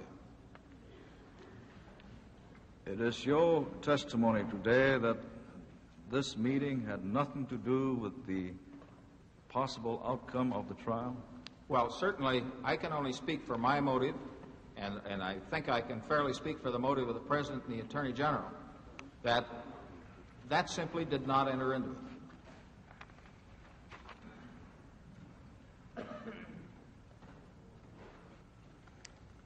I've been sent this note from the Chief Counsel on the canon of ethics.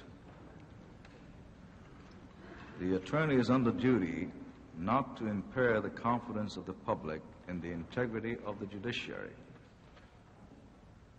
Well, I'm afraid that is a that is a great catch-all. Number one, of course, I was Is not that a rather clear? sir. Didn't it give the impression to the public that an attempt was made to compromise Judge Byrne? Well, if it were given, it was certainly a false impression. Uh, I am I am certainly comfortable in the precautions that I took in indicating to the judge that he was free not to engage in this conversation, that I was relying entirely on his own knowledge of the state of that case. And um, uh, I don't know what else I could have done under the circumstances.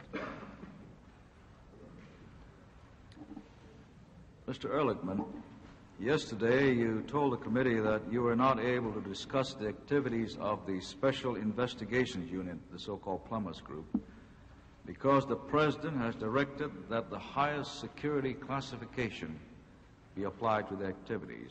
Am I correctly stating your position, sir? Uh, I'm not sure that that was the reason that I intended to assign to that. That in, in point of fact, executive privilege has also been invoked. Do you or the President of the United States consider the activities of Mr. Hunt and Mr. Liddy in relation to Ms. Dita Beard as vital to our national security?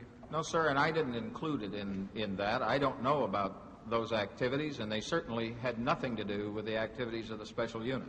Weren't you aware that Mr. Liddy and Mr. Hunt were involved? No, sir. When did you learn of this? Well, I heard something in testimony here the other day about Liddy, uh, and I'd forgotten who testified that, that Liddy told him that he had taken her out of town. That's the first I'd ever heard of that. Uh, of, of course, I heard about Hunt going to Denver uh, some time ago in the press, but I don't believe that I had ever heard of that before that. And I think there's a lot of confusion about Hunt and Liddy's participation in this special unit.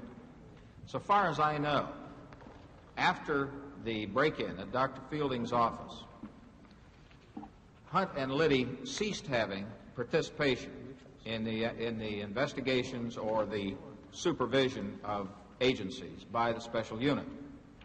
Uh, I'm not aware of any specific activities that either one of them engaged in for the special unit uh, after, oh, about uh,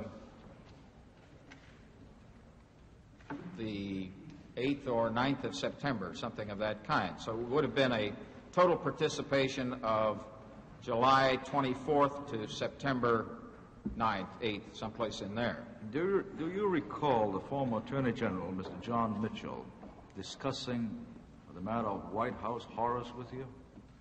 Because he did testify that he discussed this with you in great detail. I, I had never heard that phrase used until he appeared here. But he, uh, he described what he meant by that. And one of the matters described was this involving Miss Dita Beard. I, I don't believe that I have ever discussed that Dita Beard business or Hunter and Liddy with Mr. Mitchell. You're suggesting that Mr. Mitchell's memory has failed him. Well, I, I, let me go a little, a little beyond that. Uh, I believe Mr. Mitchell testified that he was not aware of the plumbers until sometime later. Uh, my log will show that almost immediately after the President authorized this special unit, the 24th of July, I scheduled a series of appointments with cabinet officers to take Mr. Krogh and Mr. Young around and introduce them and to explain what this special unit was designed to do with relation to the stimulation of activities within the respective departments. And I had an appointment with Secretary Laird, I had one with Director Helms. I also had one with Attorney General Mitchell, with Mr. Krogh and Mr. Young, for just that purpose. And that would have been late in July or early in August of 1971. So I think Mr. Mitchell's recollection on this general subject may be a little hazy. But you're testifying here that you became aware of the involvement of Mr. Hunt and Mr. Liddy with Miss Beard just came about recently, a few days ago? Well, that's a few days, a few months ago. Hunt and Liddy simply went out of my went out of my off my screen, so to speak, uh, about the time of this uh, uh, Fielding break-in until one meeting which I referred to here the other day that I think Liddy was in sometime in the month of October when he was back doing staff work with regard to uh, straight uh, domestic uh, policy work for Mr. Krogh, which involved the organization of the Justice Department. Uh, I think that's the only time that I thought of or heard about Hunt and Liddy uh, subsequent to uh, those dates in September.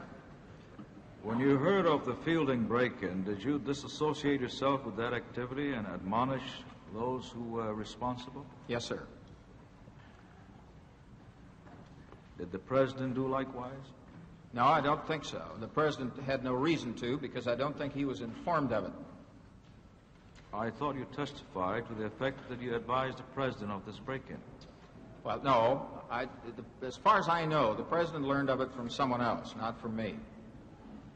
The first specific recollection I have of discussing this subject with uh, uh, this special special unit activity with the president was in March of this year. Now, I may have had some conversation with him previous to that date, but I have no recollection of it. Why didn't you do something about this? Sir? Why didn't you do something about Mr. Hunt and Liddy? Uh, there's Well- nothing in the record to show that they were admonished or they were punished or they were put in bad graces. Hunt and Liddy, as far as I assume, had a, a complete defense in the sense that they were operating according to what they believed to be authorization. The reaction that I had to this when I heard about it was one of surprise and disapproval.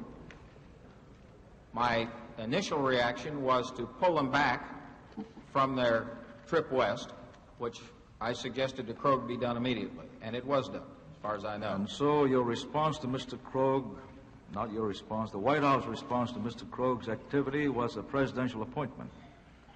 I think you have, if I could, if I could just finish the answer and then I'll come to this Yes, if you'd like me to. At, at that point in time, there were two, what I suppose you would arguably call conflicting duties. Uh, to have imposed uh, some kind of discipline, uh, to have uh, had them arrested, something of this kind has been suggested as, as one of the alternatives. Obviously, the other alternative was to pursue this national security investigation as vigorously as we could and not compromise it if we could possibly avoid it. You get into these conflicting duty situations, as you know, Senator, at times, and you have to, you have to take the main chance. You have to do the thing that uh, is more important to the country and not do the other thing.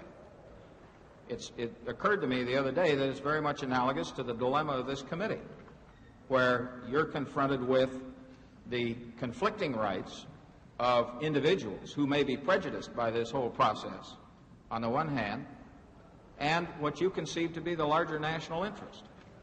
And you have resolved that conflict in favor of the larger national interest, even though some individuals may be harmed in the, in the long pull by the process. And I can understand that. At the same time, when you find yourself in the bite of that line, sometimes it's hard to explain from a hindsight standpoint your evaluation of what the more important thing to do What was was. the larger national interest? The larger national interest, sir, was in finding out all we could about who and under what circumstances these vital national secrets, these top secret documents, were compromised. Did it also include the prosecution of Dr. Ellsberg? Now that was that was really not what this was about. Uh, really not what this was about. The Justice Department was well underway on that, and they were handling that, and they continued to handle it. This was a particular undertaking to try and find out how this happened, who did it, how it could be prevented in the future.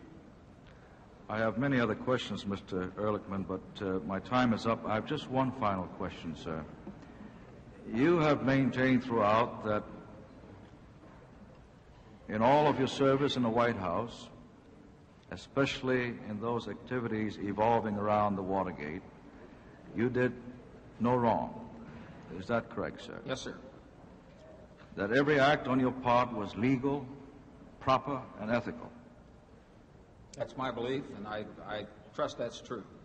If that's the case, why did the former Attorney General of the United States cite your resignation as evidence of the President lowering his boom?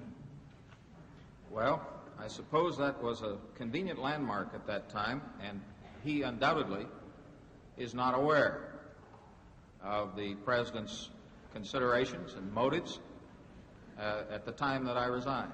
If you're clean, why did he fire you? He didn't fire me, sir. And uh, Why didn't he insist that you stay on board? Well, as a matter of fact, the proposal for me to resign came from me. It did not come from him. At the time that I talked with him on the telephone, and I'm trying to remember the date, it would have been the 28th or 29th of April, just in any way leading up to my trip to Camp David on the 29th. The state of things were, was that I was to take a leave of absence, but stay on the White House staff and continue to perform as many of my functions as possible, given the need to answer charges and, and do all these other, these other collateral things. The President was quite content with that at that time. It was, Bob Haldeman and I talked. We felt that from our respective standpoints, that was simply not realistic. It was not viable. And it was we that proposed to the President that we make a clean break rather than the other way around. And you're maintaining that you had no knowledge of the cover up, and you further maintain that the mastermind of the cover up was John Wesley Dean III. Well, I would like to speak for myself. I had no part in any cover up. Uh, I'm not here to make charges against other people. I, and as you say, this is not, a, this is not an accusatory forum. Uh, I think the evidence will speak for itself when it's all in. And then uh, either you or the public or someone will be in a very good position to decide the answer to that second question. I would hope that the President of the United States will release those tapes because it will help to clear the evidence, sir. Thank you very much. Senator White.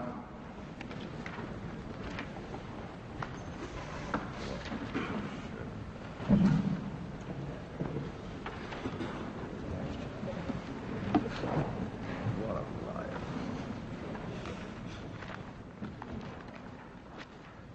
Mr. Ehrlichman, this morning, I believe you discussed the justification for the plumbers group. I had a question on my pad, which was asked by another member of the committee, as to why the plumbers? Why not the FBI? I believe, and you correct me if I'm in any way stating this or paraphrasing it incorrectly, that your response was that you were not getting cooperation from the FBI and had the opposition of the director, Mr. Hoover, and that was the justification for the plumbers. Now, is that sir. correct? No. Uh, the special unit itself was created in response to a strong feeling by the President that the White House had to more closely supervise the departments, the agencies, in their efforts, and that is in the departments and agencies' effort to do their own job inside the departments and agencies in plugging leaks, finding out who were disseminating these documents, and so forth. So the, the origin of that unit and the, and the original reason for it being was for that purpose. It was not originally set up as a, a police organization or an investigatory organization or anything of that kind. But then, when Mr. Krogh ran into this hard place in getting information, uh, it was a last resort to use these two people who were in the unit to do this one particular investigatory job. Because, in fact, the information could not be obtained by the FBI, is that correct? Would not, yes. Would not. I'd like to read to you, and uh, I believe your counsel will now hand you an exhibit, or rather a letter, which I would hope we would uh, put in as an exhibit, dated August 3rd, 1971, from the Federal Bureau of Investigation. Uh, this was uh, some time before the actual break-in. It is a letter to Mr. Krogh from the director, J. Edgar Hoover. And I'd like to read the letter. The Honorable Egil Krogh, Jr., Deputy Assistant to the President for Domestic Affairs, the White House, Washington, D.C. Dear Mr. Krogh, by letter dated July 29, 1971, the President advised me that he had directed that you examine in depth the circumstances of the many recent disclosures of top secret and other sensitive material to the public. He asked that I forward to you all information acquired to date, including individual reports of interviews with respect to 17 persons who were named in an attachment to his letter. One of these was Daniel Ellsberg, principal suspect in the disclosure of the McNamara study to various newspapers. He asked that a comprehensive background paper on Ellsberg be sent to you. Enclosed are 17 memoranda containing the information mentioned by the President. We have interviewed five of the individuals involved in connection with our investigation in the Ellsberg case. We also endeavored to interview a sixth one, Mr. Charles M. Cook, but he declined to submit to interview by the FBI without the specific clearance of Deputy Attorney General Richard Kleindienst. If you concur, we will proceed with interviews of all the remaining individuals except Daniel Ellsberg. By separate communication, I am furnishing a copy of each of the enclosures to the Attorney General. Upon removal of the classified enclosures, this transmittal letter may be declassified. Sincerely yours, J. Edgar Hoover. Would you say that this is fairly clear evidence that the FBI was perfectly willing to perform its functions insofar as the Ellsberg matter was concerned? Well, I don't think I'm able to respond to that, Senator. Uh, I think all of us who have had experience with Mr. Hoover uh, recognize that letters of this kind uh, were a, uh, a method that he had uh, frequently of justifying uh, shortfall in performance by the Bureau. Uh, I don't know whether this was window dressing or what this was. Uh, it was obvious that the, the President had, at Mr. Krogh's request, shaken up the director. And uh, uh, I, I will say that over a period of, of uh, a couple of months, the result of having appointed the, the special unit and the result of having uh, the president having told Mr. Hoover that he was having to resort to sending two people out there from the White House caused the Bureau to um, uh, wake up on this thing. Now, this comes rather early in the process and looks to me like a, a I don't know, but it looks to me like Mr. Hoover was sort of cleaning out the drawers and sending over everything that had been accumulated to that time. Uh, uh, most of what was sent over, I'll bet you, was old hat stuff.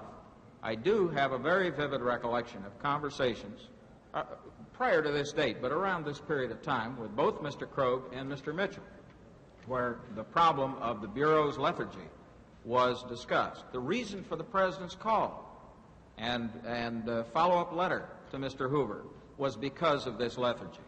And I don't think it's going to be possible to make the case that the Bureau was just on its tippy toes doing everything it should right at this period of time. Uh, the, the, fact that the president had to call, had to write, the fact that Krogh was uh, banging me, the, the fact that I was over on the, on the Attorney General asking him, and then the Attorney General coming back to me and saying, well, we're at a hard place in this, uh, uh is all, I think, a matter of record. It will take some digging to get into, uh, but I think it's there, and, and you all could adduce it.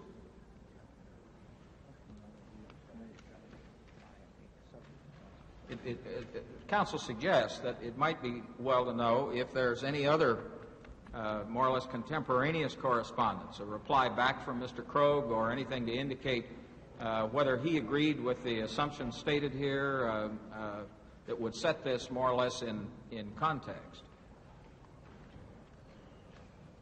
I'll let the letter go ahead and speak for itself. I have no further correspondence to go ahead and submit at this time, but I would ask this question. Do you feel, in other words, that Mr. Hoover is lying in this letter? No, I think Mr. Hoover is resorting to a well known bureaucratic device uh, of uh, papering the file, and, uh, and, particularly a device that's familiar to those who uh, have uh, seen the president uh, shake up somebody in one of the departments or agencies you immediately get a, an enormous volume of justification back.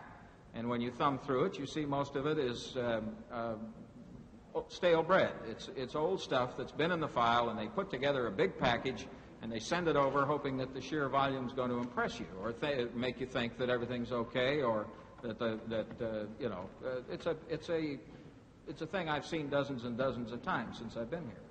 Well, would you advise then that every time a department or an agency of this government falls short, that rather than remove the head of that agency or department, we set up a similar function on a secret basis? Is that the way we're going to handle it? Oh, no. No, indeed.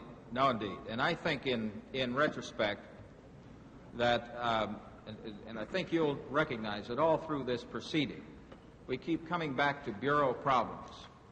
I think in retrospect that, that uh, uh, the administration would have been far better off if Mr. Hoover had been retired uh, earlier, uh, uh, uh predating uh, this episode, because many, many of the problems that um, we encountered were as a result of Mr. Hoover's very fixed views, very sincere.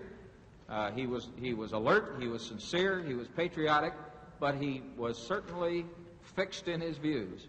And it made uh, operation uh, very, very difficult. Now, when you run across a situation where you have a, a uh, retirement of that kind that is politically sensitive and difficult, uh, sometimes uh, the decision is made to postpone the retirement. And when that happens, then you simply have to find other ways of doing things. In other words, I gather what you're saying is he was fixed in his views to the extent that he would not agree to a break-in of Daniel Ellsberg's psychiatrist. Well, that, that of course, uh, overstates it dramatically, Senator. Uh, what, he, what he wouldn't agree to was an investigation of uh, uh Mr. Marks and, and others close to Daniel Ellsberg. Well, now, Mr. Ehrlichman, we have a letter saying that he will agree to go ahead and investigate, and it's sitting right there before you. Well, it didn't, uh, frankly, Senator. You say, I'm asking you, is he lying? No, I don't see, for instance, Mr. Marks's name in there, and I don't know what the list is that that letter refers to. Maybe Mr. Marks's name is on it. He says, if you, will, if you concur, we will proceed with interviews of all the remaining individuals. Who are they, sir? I, don't, I, I honestly don't know. I don't remember ever seeing that letter. I can tell you this, that uh, uh, by, oh, the 20th of September of that year, the Bureau was clicking on all eight cylinders. Uh, they were aboard. And the Bureau work was moving ahead, and, and uh, uh, we were past the problem. Past what uh, problem? Sir? Past what problem? This, this uh, uh, view of the, of the directors that he would not so treat this as a principal case. In other words, we'd established the principle that, that breaking and entering was a, a proper Oh, no, no. method? No, no. I, I, I reject that totally. I, I, can't, I can't accept that. Uh, the, the director was never involved Well, what in is- any what- what discussion of, of breaking and entering or anything of the kind. What is clicking along on all eight cylinders? I mean, they were treating this investigation as a principal case, and it was getting the kind of top priority that uh, Mr. Krogh very much wanted for it. So that in effect, uh, the director was not lying, but uh, he was merely stroking. I think that's the White House expression, is it not? Stroking. Uh, no. Mr. Krogh, uh, by means of the letter, and in effect not doing the job. Is that correct? I, I don't think stroking is the apt term there. I think perhaps uh, uh, we think of this more as puffing than stroking. As what? Puffing. Puffing. I see. Uh, Senator Weicker, Sen- Senator Weicker, may I ask Counselor? your permission to interrupt you a moment to Counselor, address the right- chair? Mr. Chairman, I noticed that this document was, exec- was exhibit number two of the executive session. Will you be kind enough to ask your staff if there is a series of documents relevant to this document which followed it, or to tell me that, that you don't have any?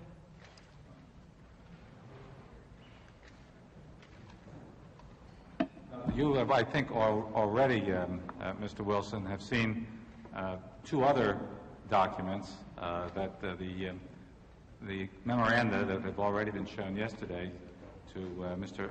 Ehrlichman were also exhibits of the executive session. That doesn't answer my question, Mr. Dash. My question is, for example, did Mr. Krogh reply to, this- to the director's letter?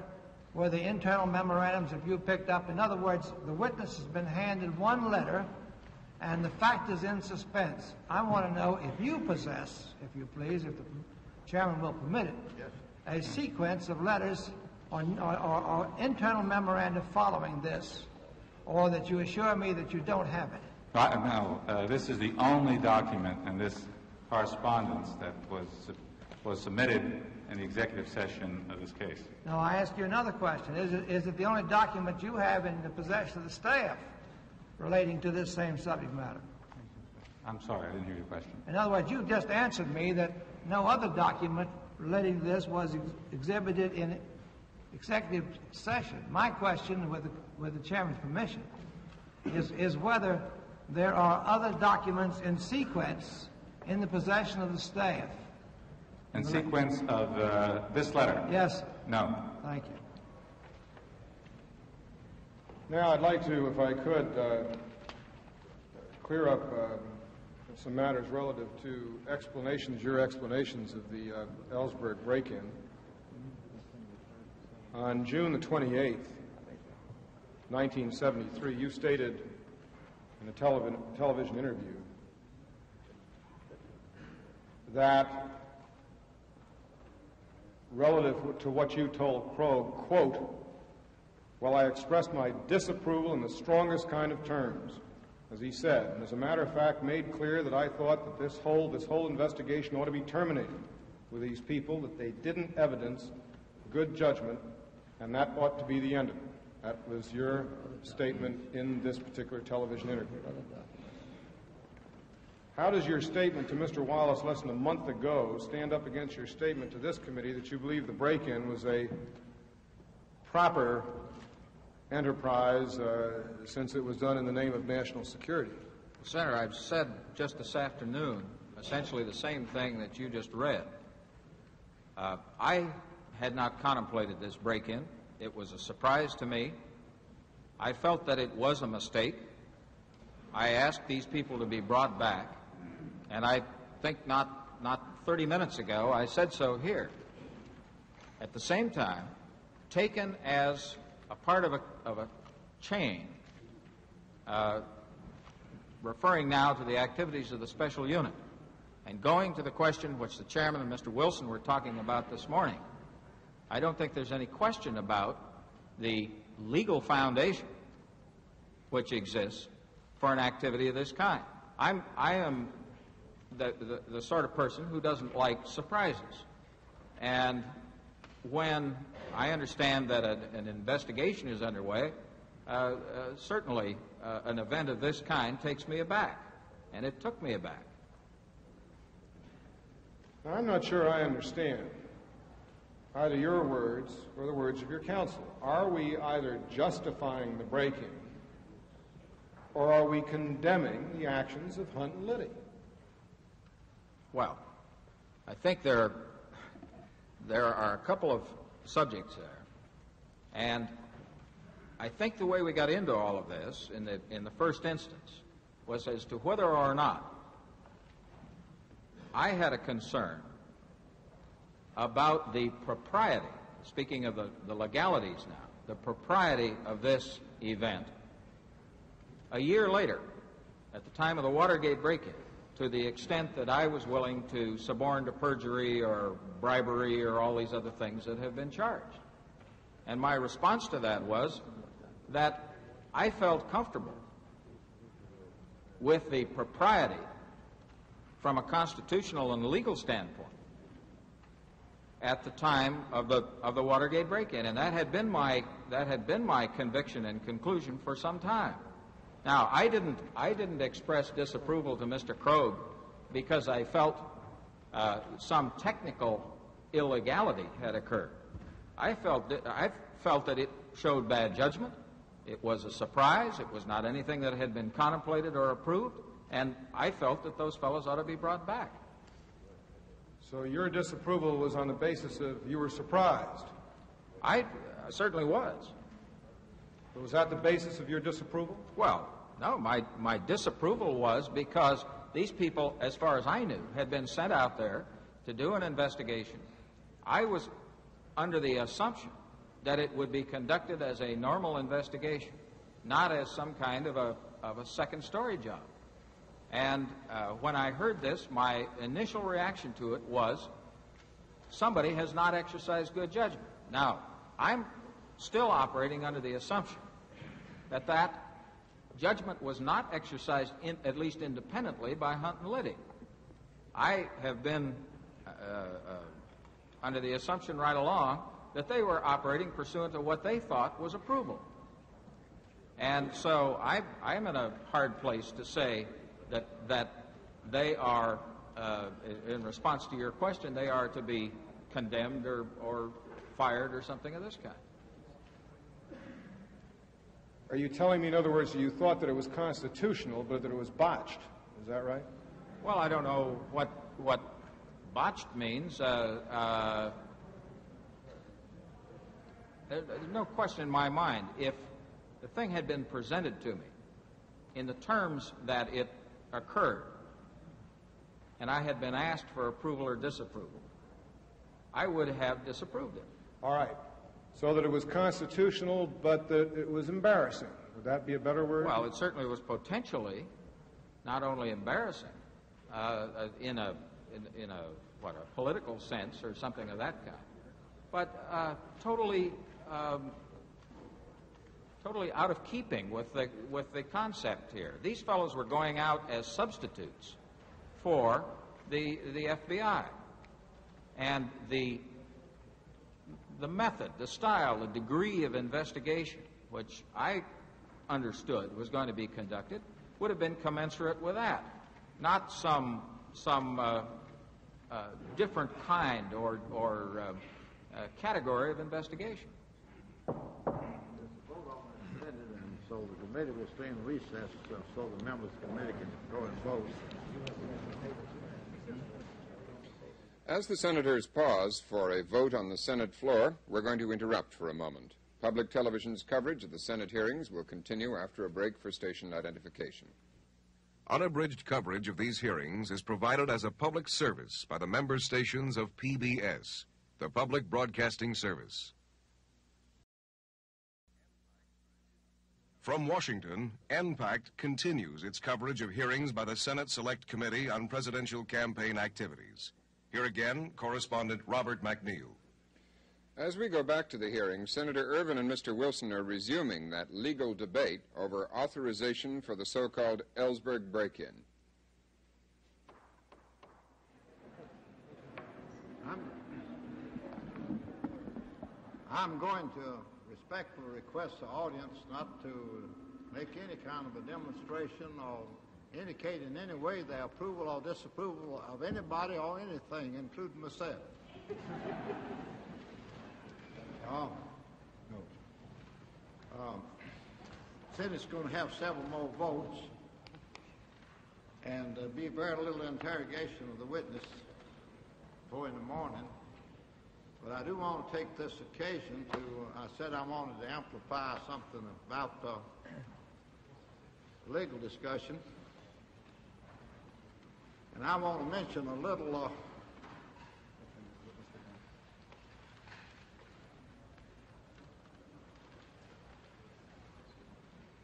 I want to mention a little of the Bible, a little of history, and a little of law.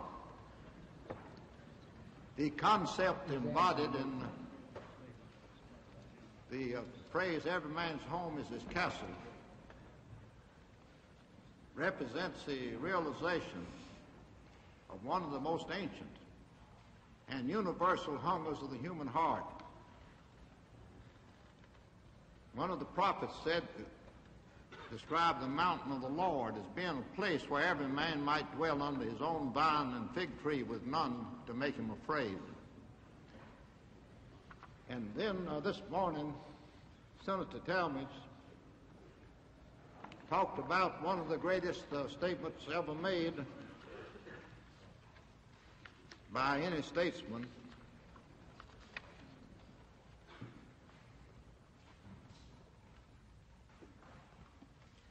That was William Pitt the Elder. And before this country revolted against the King of England, he said this The poorest man in his, may in his cottage bid defiance to all the forces of the crown.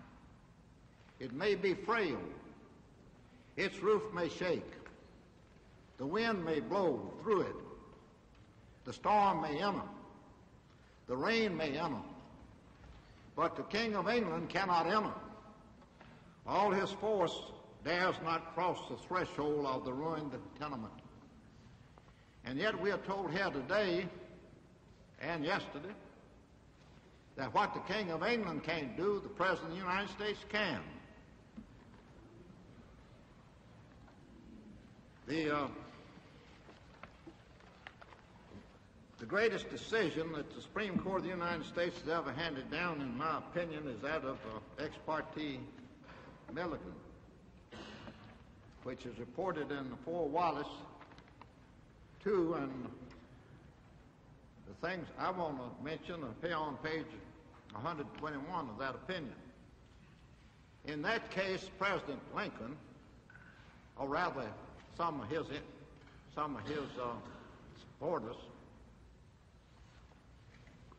raised the claim that since uh, the Civil War was uh, in progress,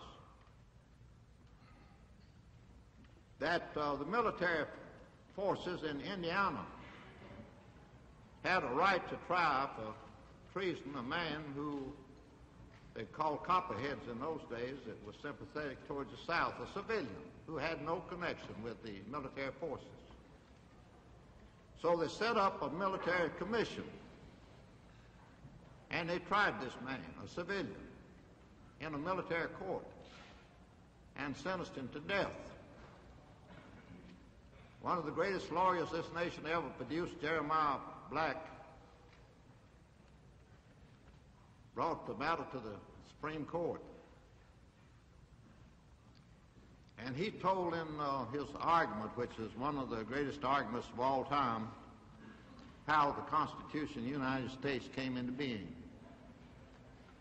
He said that the people who drafted and ratified that Constitution was not were determined that not one drop of the blood which had been shed throughout the ages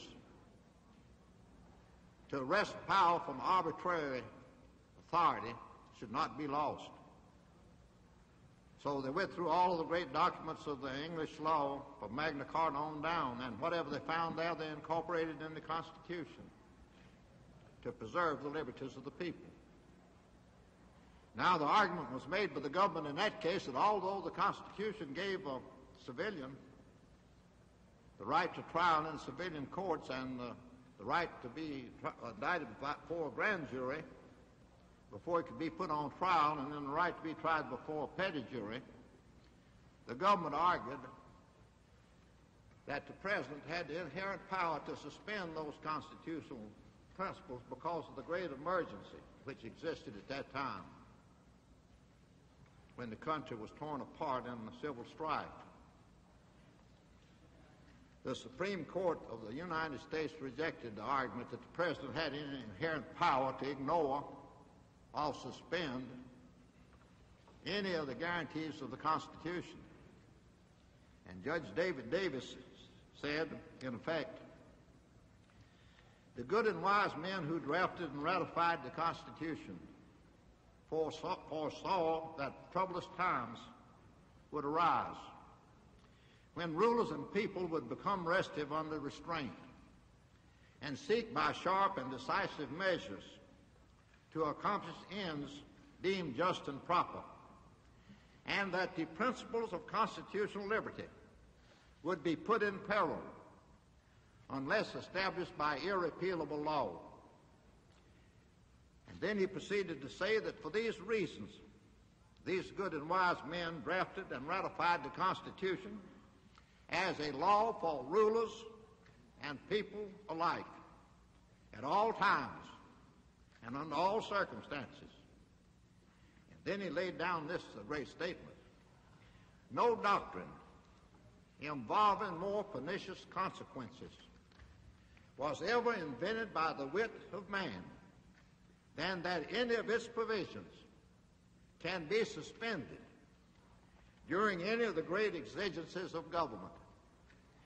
And notwithstanding that, we have it argued here in this uh, year of our Lord, 1973, that the President of the United States has a right to suspend the Fourth Amendment and to have burglary committed just because he claims, or somebody acting for him claims, that uh, the records of a psychiatrist about the emotional or mental state of his patient, Ellsberg, had some relation to national security. Now, President Nixon himself defined the national security in one of his directives as including only two things national defense and uh, relations with foreign countries. How in the world the opinions of a psychiatrist about the mental state or the emotional state or the psychological state of his patient, even if his patient was Ellsberg, can have any relation to national defense or relations to a foreign country is something which uh, eludes uh, the imagination of this country lawyer. Now, I'd like to ask you one question. Uh, why, if, if the president has this much power, wouldn't he have had the inherent power to send somebody out there with a pistol and had it pointed at the psychiatrist and said, uh, I'm not going to commit burglary, I'm just going to rob you of those uh, records and give me the records. Wouldn't he have had that right under your theory? Uh, you asking me, Yeah. Mr. Chairman? Well, I think this is the same question that Senator Talmadge approached. And undoubtedly, in a situation such as I put, for instance, where you knew there was going to be an atomic attack tomorrow, undoubtedly, a, measure of that kind might be necessary. Well, now, wasn't any- somewhere in between, somewhere in between, there is a line. Well, and the line depends, obviously, on, on a lot of things that you and I can't settle here today. I think the thing that your argument artfully chooses to avoid dealing with. I'm not trying to avoid anything. I'm trying to hit this proposition. The Well, now, Mr. Chairman, you've- power you've interrupted me. the Fourth Amendment uh, I- head on. You have, you have the delightful trial room practice of interrupting something that you don't want to hear. Uh, I'd like, if I could, to finish the sentence. The connection, of course, between the psychiatrist's records and the psychiatric profile and the determination of whether there was a spy ring or a foreign conspiracy which had taken these top secret dark documents and delivered them to a foreign power. It seems to me is an unbroken chain of circumstances that explains itself. Now, I recognize for the purpose of your rhetorical approach to the problem that it's fun to say, how could a man's emotional state be equated with national security? But in fact, there is a direct linkage, step by step by step, in this, which I think uh, uh, we have to lay on the table and look at. Now, this business of going and pointing a gun at somebody, I can conceive of a set of circumstances, a different kind of national security situation, such as this impending attack or something of that kind, hypothetically, where such a measure might very well be the very thing that the President might determine was necessary. And you'll recall that the Congress, in recognizing this power, said, such means as the President shall determine. And that, I think, as Mr. Wilson pointed out this morning, was endorsed by the committee of which you are the chairman, sir. Well, uh, that's not what that bill said. It said that, that the president could exercise his constitutional powers when he determined, according to his determination. It didn't say he had any constitutional powers such as uh, as uh, you, you state, because uh, Mr. Wilson himself both agreed that the court held in this case, and the thing it held principally was that you couldn't elect, uh, exercise electronic surveillance without a warrant complying with the Fourth Amendment for the purpose of gathering intelligence about domestic subversion. And we also agreed that uh, the decision itself flatly held, held, that the statute had nothing whatever to do with uh, the question of national security. Mr. Chairman, can I get into this? Yes, sir. I think this morning you referred to the Judge Field case which is uh, strictly known as Cunningham against Neagle, isn't it? You remember that case? Yes, I remember the case that they held that you could send a, a that a, a, federal marshal wouldn't be uh, guilty of murder for shooting a man that was uh, that was trying to kill a federal judge. What was the statute based upon but the constitutional right? I don't know. I don't recall. It's been a long time since I shall read we, Shall I prepare well, it for wasn't, this? It wasn't based on uh, Section 2111 of uh, Title 18 of the United States No, but it was, it was, it was, it was murder, though, wasn't it? It was homicide. Yes. Justifiable homicide in a statute which was supported by a constitutional theory. And also justified, it was happened in California, and was justified with the principle of the common law that one person can kill another to prevent the consummation of a felony. Is this something that happened in California and no place else in the country? It, it would be the law in this case that had the common law system. Well, we've got that every Oh. place in the country except California and, and, and, and Louisiana. I'm unfortunately going to got the, the five-minute uh, notice about a vote. Thank you, sir. But uh, I, we- have, I have no quarrel with the Neagle case, but I don't think it's, the Neagle case merely applied uh, the rule that uh, a, a one had a right to kill another to prevent a, a wrongdoer from committing a murder. But all I say is there is a murder case that was justified. Yes. I, I regret I have to go and vote, and I would love to prolong this debate with you. I but would, too. I think maybe that, uh, being the lateness of the hour, that uh, it would, uh, that we just about uh, recess till in the morning at 10 o'clock.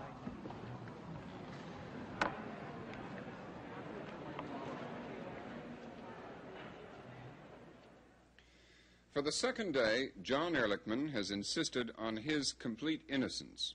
And apparently, if he could relive the entire Watergate situation, he would make few, if any, changes in his own actions. Ehrlichman's position stands in contrast with most of the other witnesses so far. Even John Mitchell, who granted the committee very little, did admit that he might have made the wrong decision in keeping news of the Watergate from the president. In terms of his total protestations of innocence, Ehrlichman can be compared only with Finance Committee Chairman Maurice Stans. There are still a lot of questions for John Ehrlichman, and his continuing appearance as a witness could throw the whole committee calendar out of kilter. As things now stand, the committee plans to hear about a dozen more witnesses, including Charles Colson and H.R. Haldeman, within the next seven days. But there now appears to be a possibility that Ehrlichman alone will take this entire week, and Haldeman could take an equal length of time. Chairman Ervin nevertheless says he still hopes the committee can conclude this phase of the hearings by August 3rd. This was a day of legal arguments, long breaks for Senate votes, but very little new from John Ehrlichman. Alan Barth, longtime Washington journalist and author, longtime observer of congressional investigations, is back with us. He and John Kramer, the Georgetown University Law Center, watched the hearings with us today. Gentlemen, what do you have to say for yourselves? First to you, Mr. Barth. It seemed to me that today was tremendously interesting, and coupled with the testimony yesterday, it marks the movement of these hearings, I think, in a very, very ominous direction. Uh, I think that the legislative branch of the government is on a collision course with the executive branch, and that that has very serious, uh, very serious portents for our country.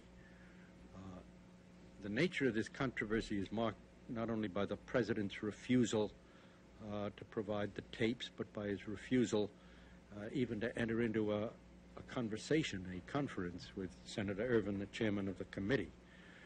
And it's marked also by, by the very great gravity of the constitutional principles that are at stake here.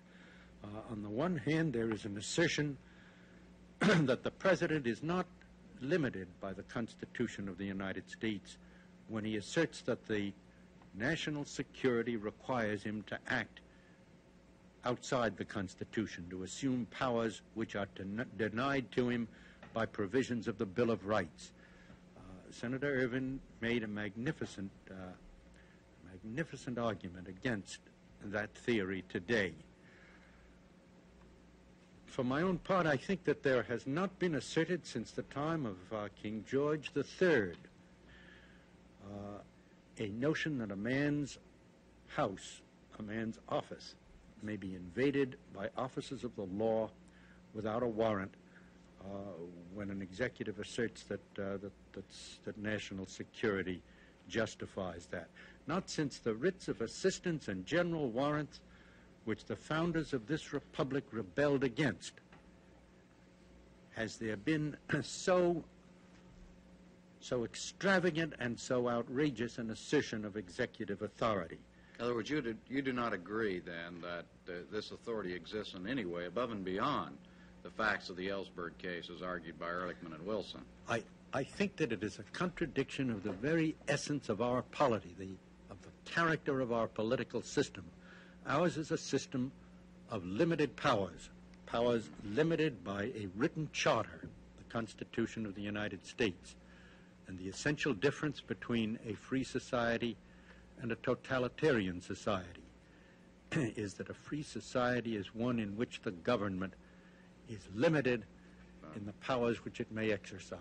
John Kramer, what are your thoughts? Well, I certainly I hate to get back down to the sort of the mundane after the expression of judicial philosophy, which I certainly agree with in political philosophy.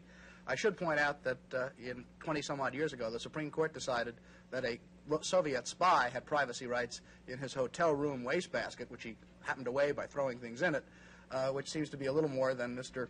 Ehrlichman or Mr. Wilson are willing to give a psychiatrist in Los Angeles. But with respect to today's hearings, I think you see the start of what may continue in the next two days of John Ehrlichman against the world. And I, I, think for Mr. Ehrlichman, perhaps very dangerous because he takes on today, yesterday he took on Mr. Kalmbach, obviously a very sympathetic figure. Today he goes after uh, Mr. Hoover, whom some people may not like for some reasons, but not normally for the reasons cited by Mr. Ehrlichman. He calls Mr. Hoover a bureaucrat, guilty of window dressing, and he's reaching out there, it seems to me, for an enemy, a dead one, that he doesn't really need. In fact, all of Mr. Ehrlichman's testimony seems to contradict almost everything everybody else says. Now, of course, he could be right and they could be wrong, but he's got an awful lot of people to stand up against. For example, there are several clashes in the afternoon and end of the morning testimony. The clemency issue. Mr. Dean has said that the president spoke to him about having talked to Ehrlichman and Colson about clemency for the Watergate 7. Those are on tapes that the committee is trying to get disclosed. Mr. Ehrlichman denies any such discussions of clemency. In fact, says the president back in July talked about clemency, but said don't talk about it. Nobody's asked why the president even brought it up in July. Mr. Hunt's safe and the contents. Mr. Ehrlichman says we had a whole sort of party in there watching uh, the safe being opened, and therefore we would never would have done anything with the contents of the safe. Dean says Ehrlichman told them to deep six them. the Gray documents. Mr. Ehrlichman denies that he ever told Mr. Gray to hide the documents or get rid of the documents. Mr. Gray, in a hearing not involving the Watergate itself directly, said he did. What about Liddy and Hunt? We're left at the end of the day with wondering what happened to them. According to Mr. Ehrlichman, they disappear, for at least from his screen, he said, maybe from the White House, around the 8th of September, only to return at creep about six or seven months later. But according to Mr. Dean, he, he had to get approval from Mr. Krogh through Mr. Ehrlichman to get Liddy released to creep. Well, this points up, uh, don't you agree, John, that uh, because of the delays today for the Senate votes and this long initial argument we, which Senator Ervin just came back to at the close, that uh, the rigorous cross-examination of Mr. Ehrlichman to pursue these and other points uh, uh, still has yet to come, and that comes uh, tomorrow. I think Senator Ervin says they hope to finish with Mr. Ehrlichman tomorrow. Seems just off the top of your head rather unlikely that they could, but we shall see. Gentlemen, thank you very much. During one of the recesses today, Senator Ervin offered his comments on the strained relations between the White House and the Senate committee. He was asked about reports that President Nixon thinks the committee is out to get him. Uh, the committee is, is out to get nothing except the truth. But the committee is determined to get the truth wherever it may lead. I have said time and time again, and it's absolutely true, there was nothing that uh, I, I presume that the president is innocent and I will give him the benefit of presumption of innocence of any wrongdoing in connection with the Watergate until the evidence compels me to reach a different conclusion. But it would appear that you there's and the committee are on the enemy's list There's now. nothing, there's nothing that would make me happier as an American citizen than to be able to say on the basis of evidence produced by this committee, including evidence of tapes and papers from the White House, that uh, the president had no connection with authorizing the, the Watergate or had no connection with any cover-up uh, uh, endeavors. Finally, just to take one of John Kramer's points a little further, it really is a very strange argument that John Ehrlichman is making about the Ellsberg break-in. He claims the president has an inherent power to authorize such an act, otherwise illegal, in the name of national security. He also claims the president didn't authorize the burglary of the psychiatrist's office, and neither did he, Ehrlichman. He says Mr. Nixon did authorize the plumbers unit to find out everything they could as, about Ellsberg as a matter of the highest priority. And Ehrlichman says he approved, in writing, what the plumbers called a covert operation to examine the psychiatric records.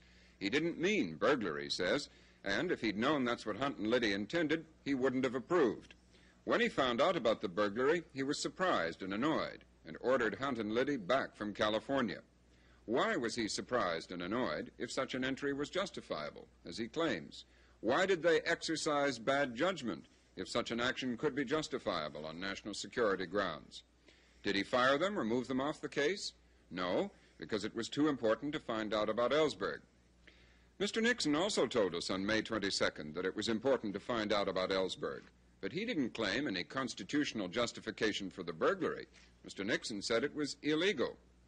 So why is Mr. Ehrlichman now making an argument to justify an act both he and the President say they didn't approve and which the President thought was illegal? It just doesn't add up. Unless it's just a ploy to bait the easily aroused constitutional watchdog lurking in Sam Ervin. If the object were to distract the committee from questioning him about other matters, it worked today. Or is Mr. Ehrlichman trying to suggest in a roundabout way that the president did approve the burglary after all? I repeat, it just doesn't add up. We'll be back tomorrow night. For Peter Kaye and Jim Lehrer, this is Robert MacNeil. Good night for NPACT. From Washington, you've been watching gavel to gavel videotape coverage of hearings by the Senate Select Committee on Presidential Campaign Activities.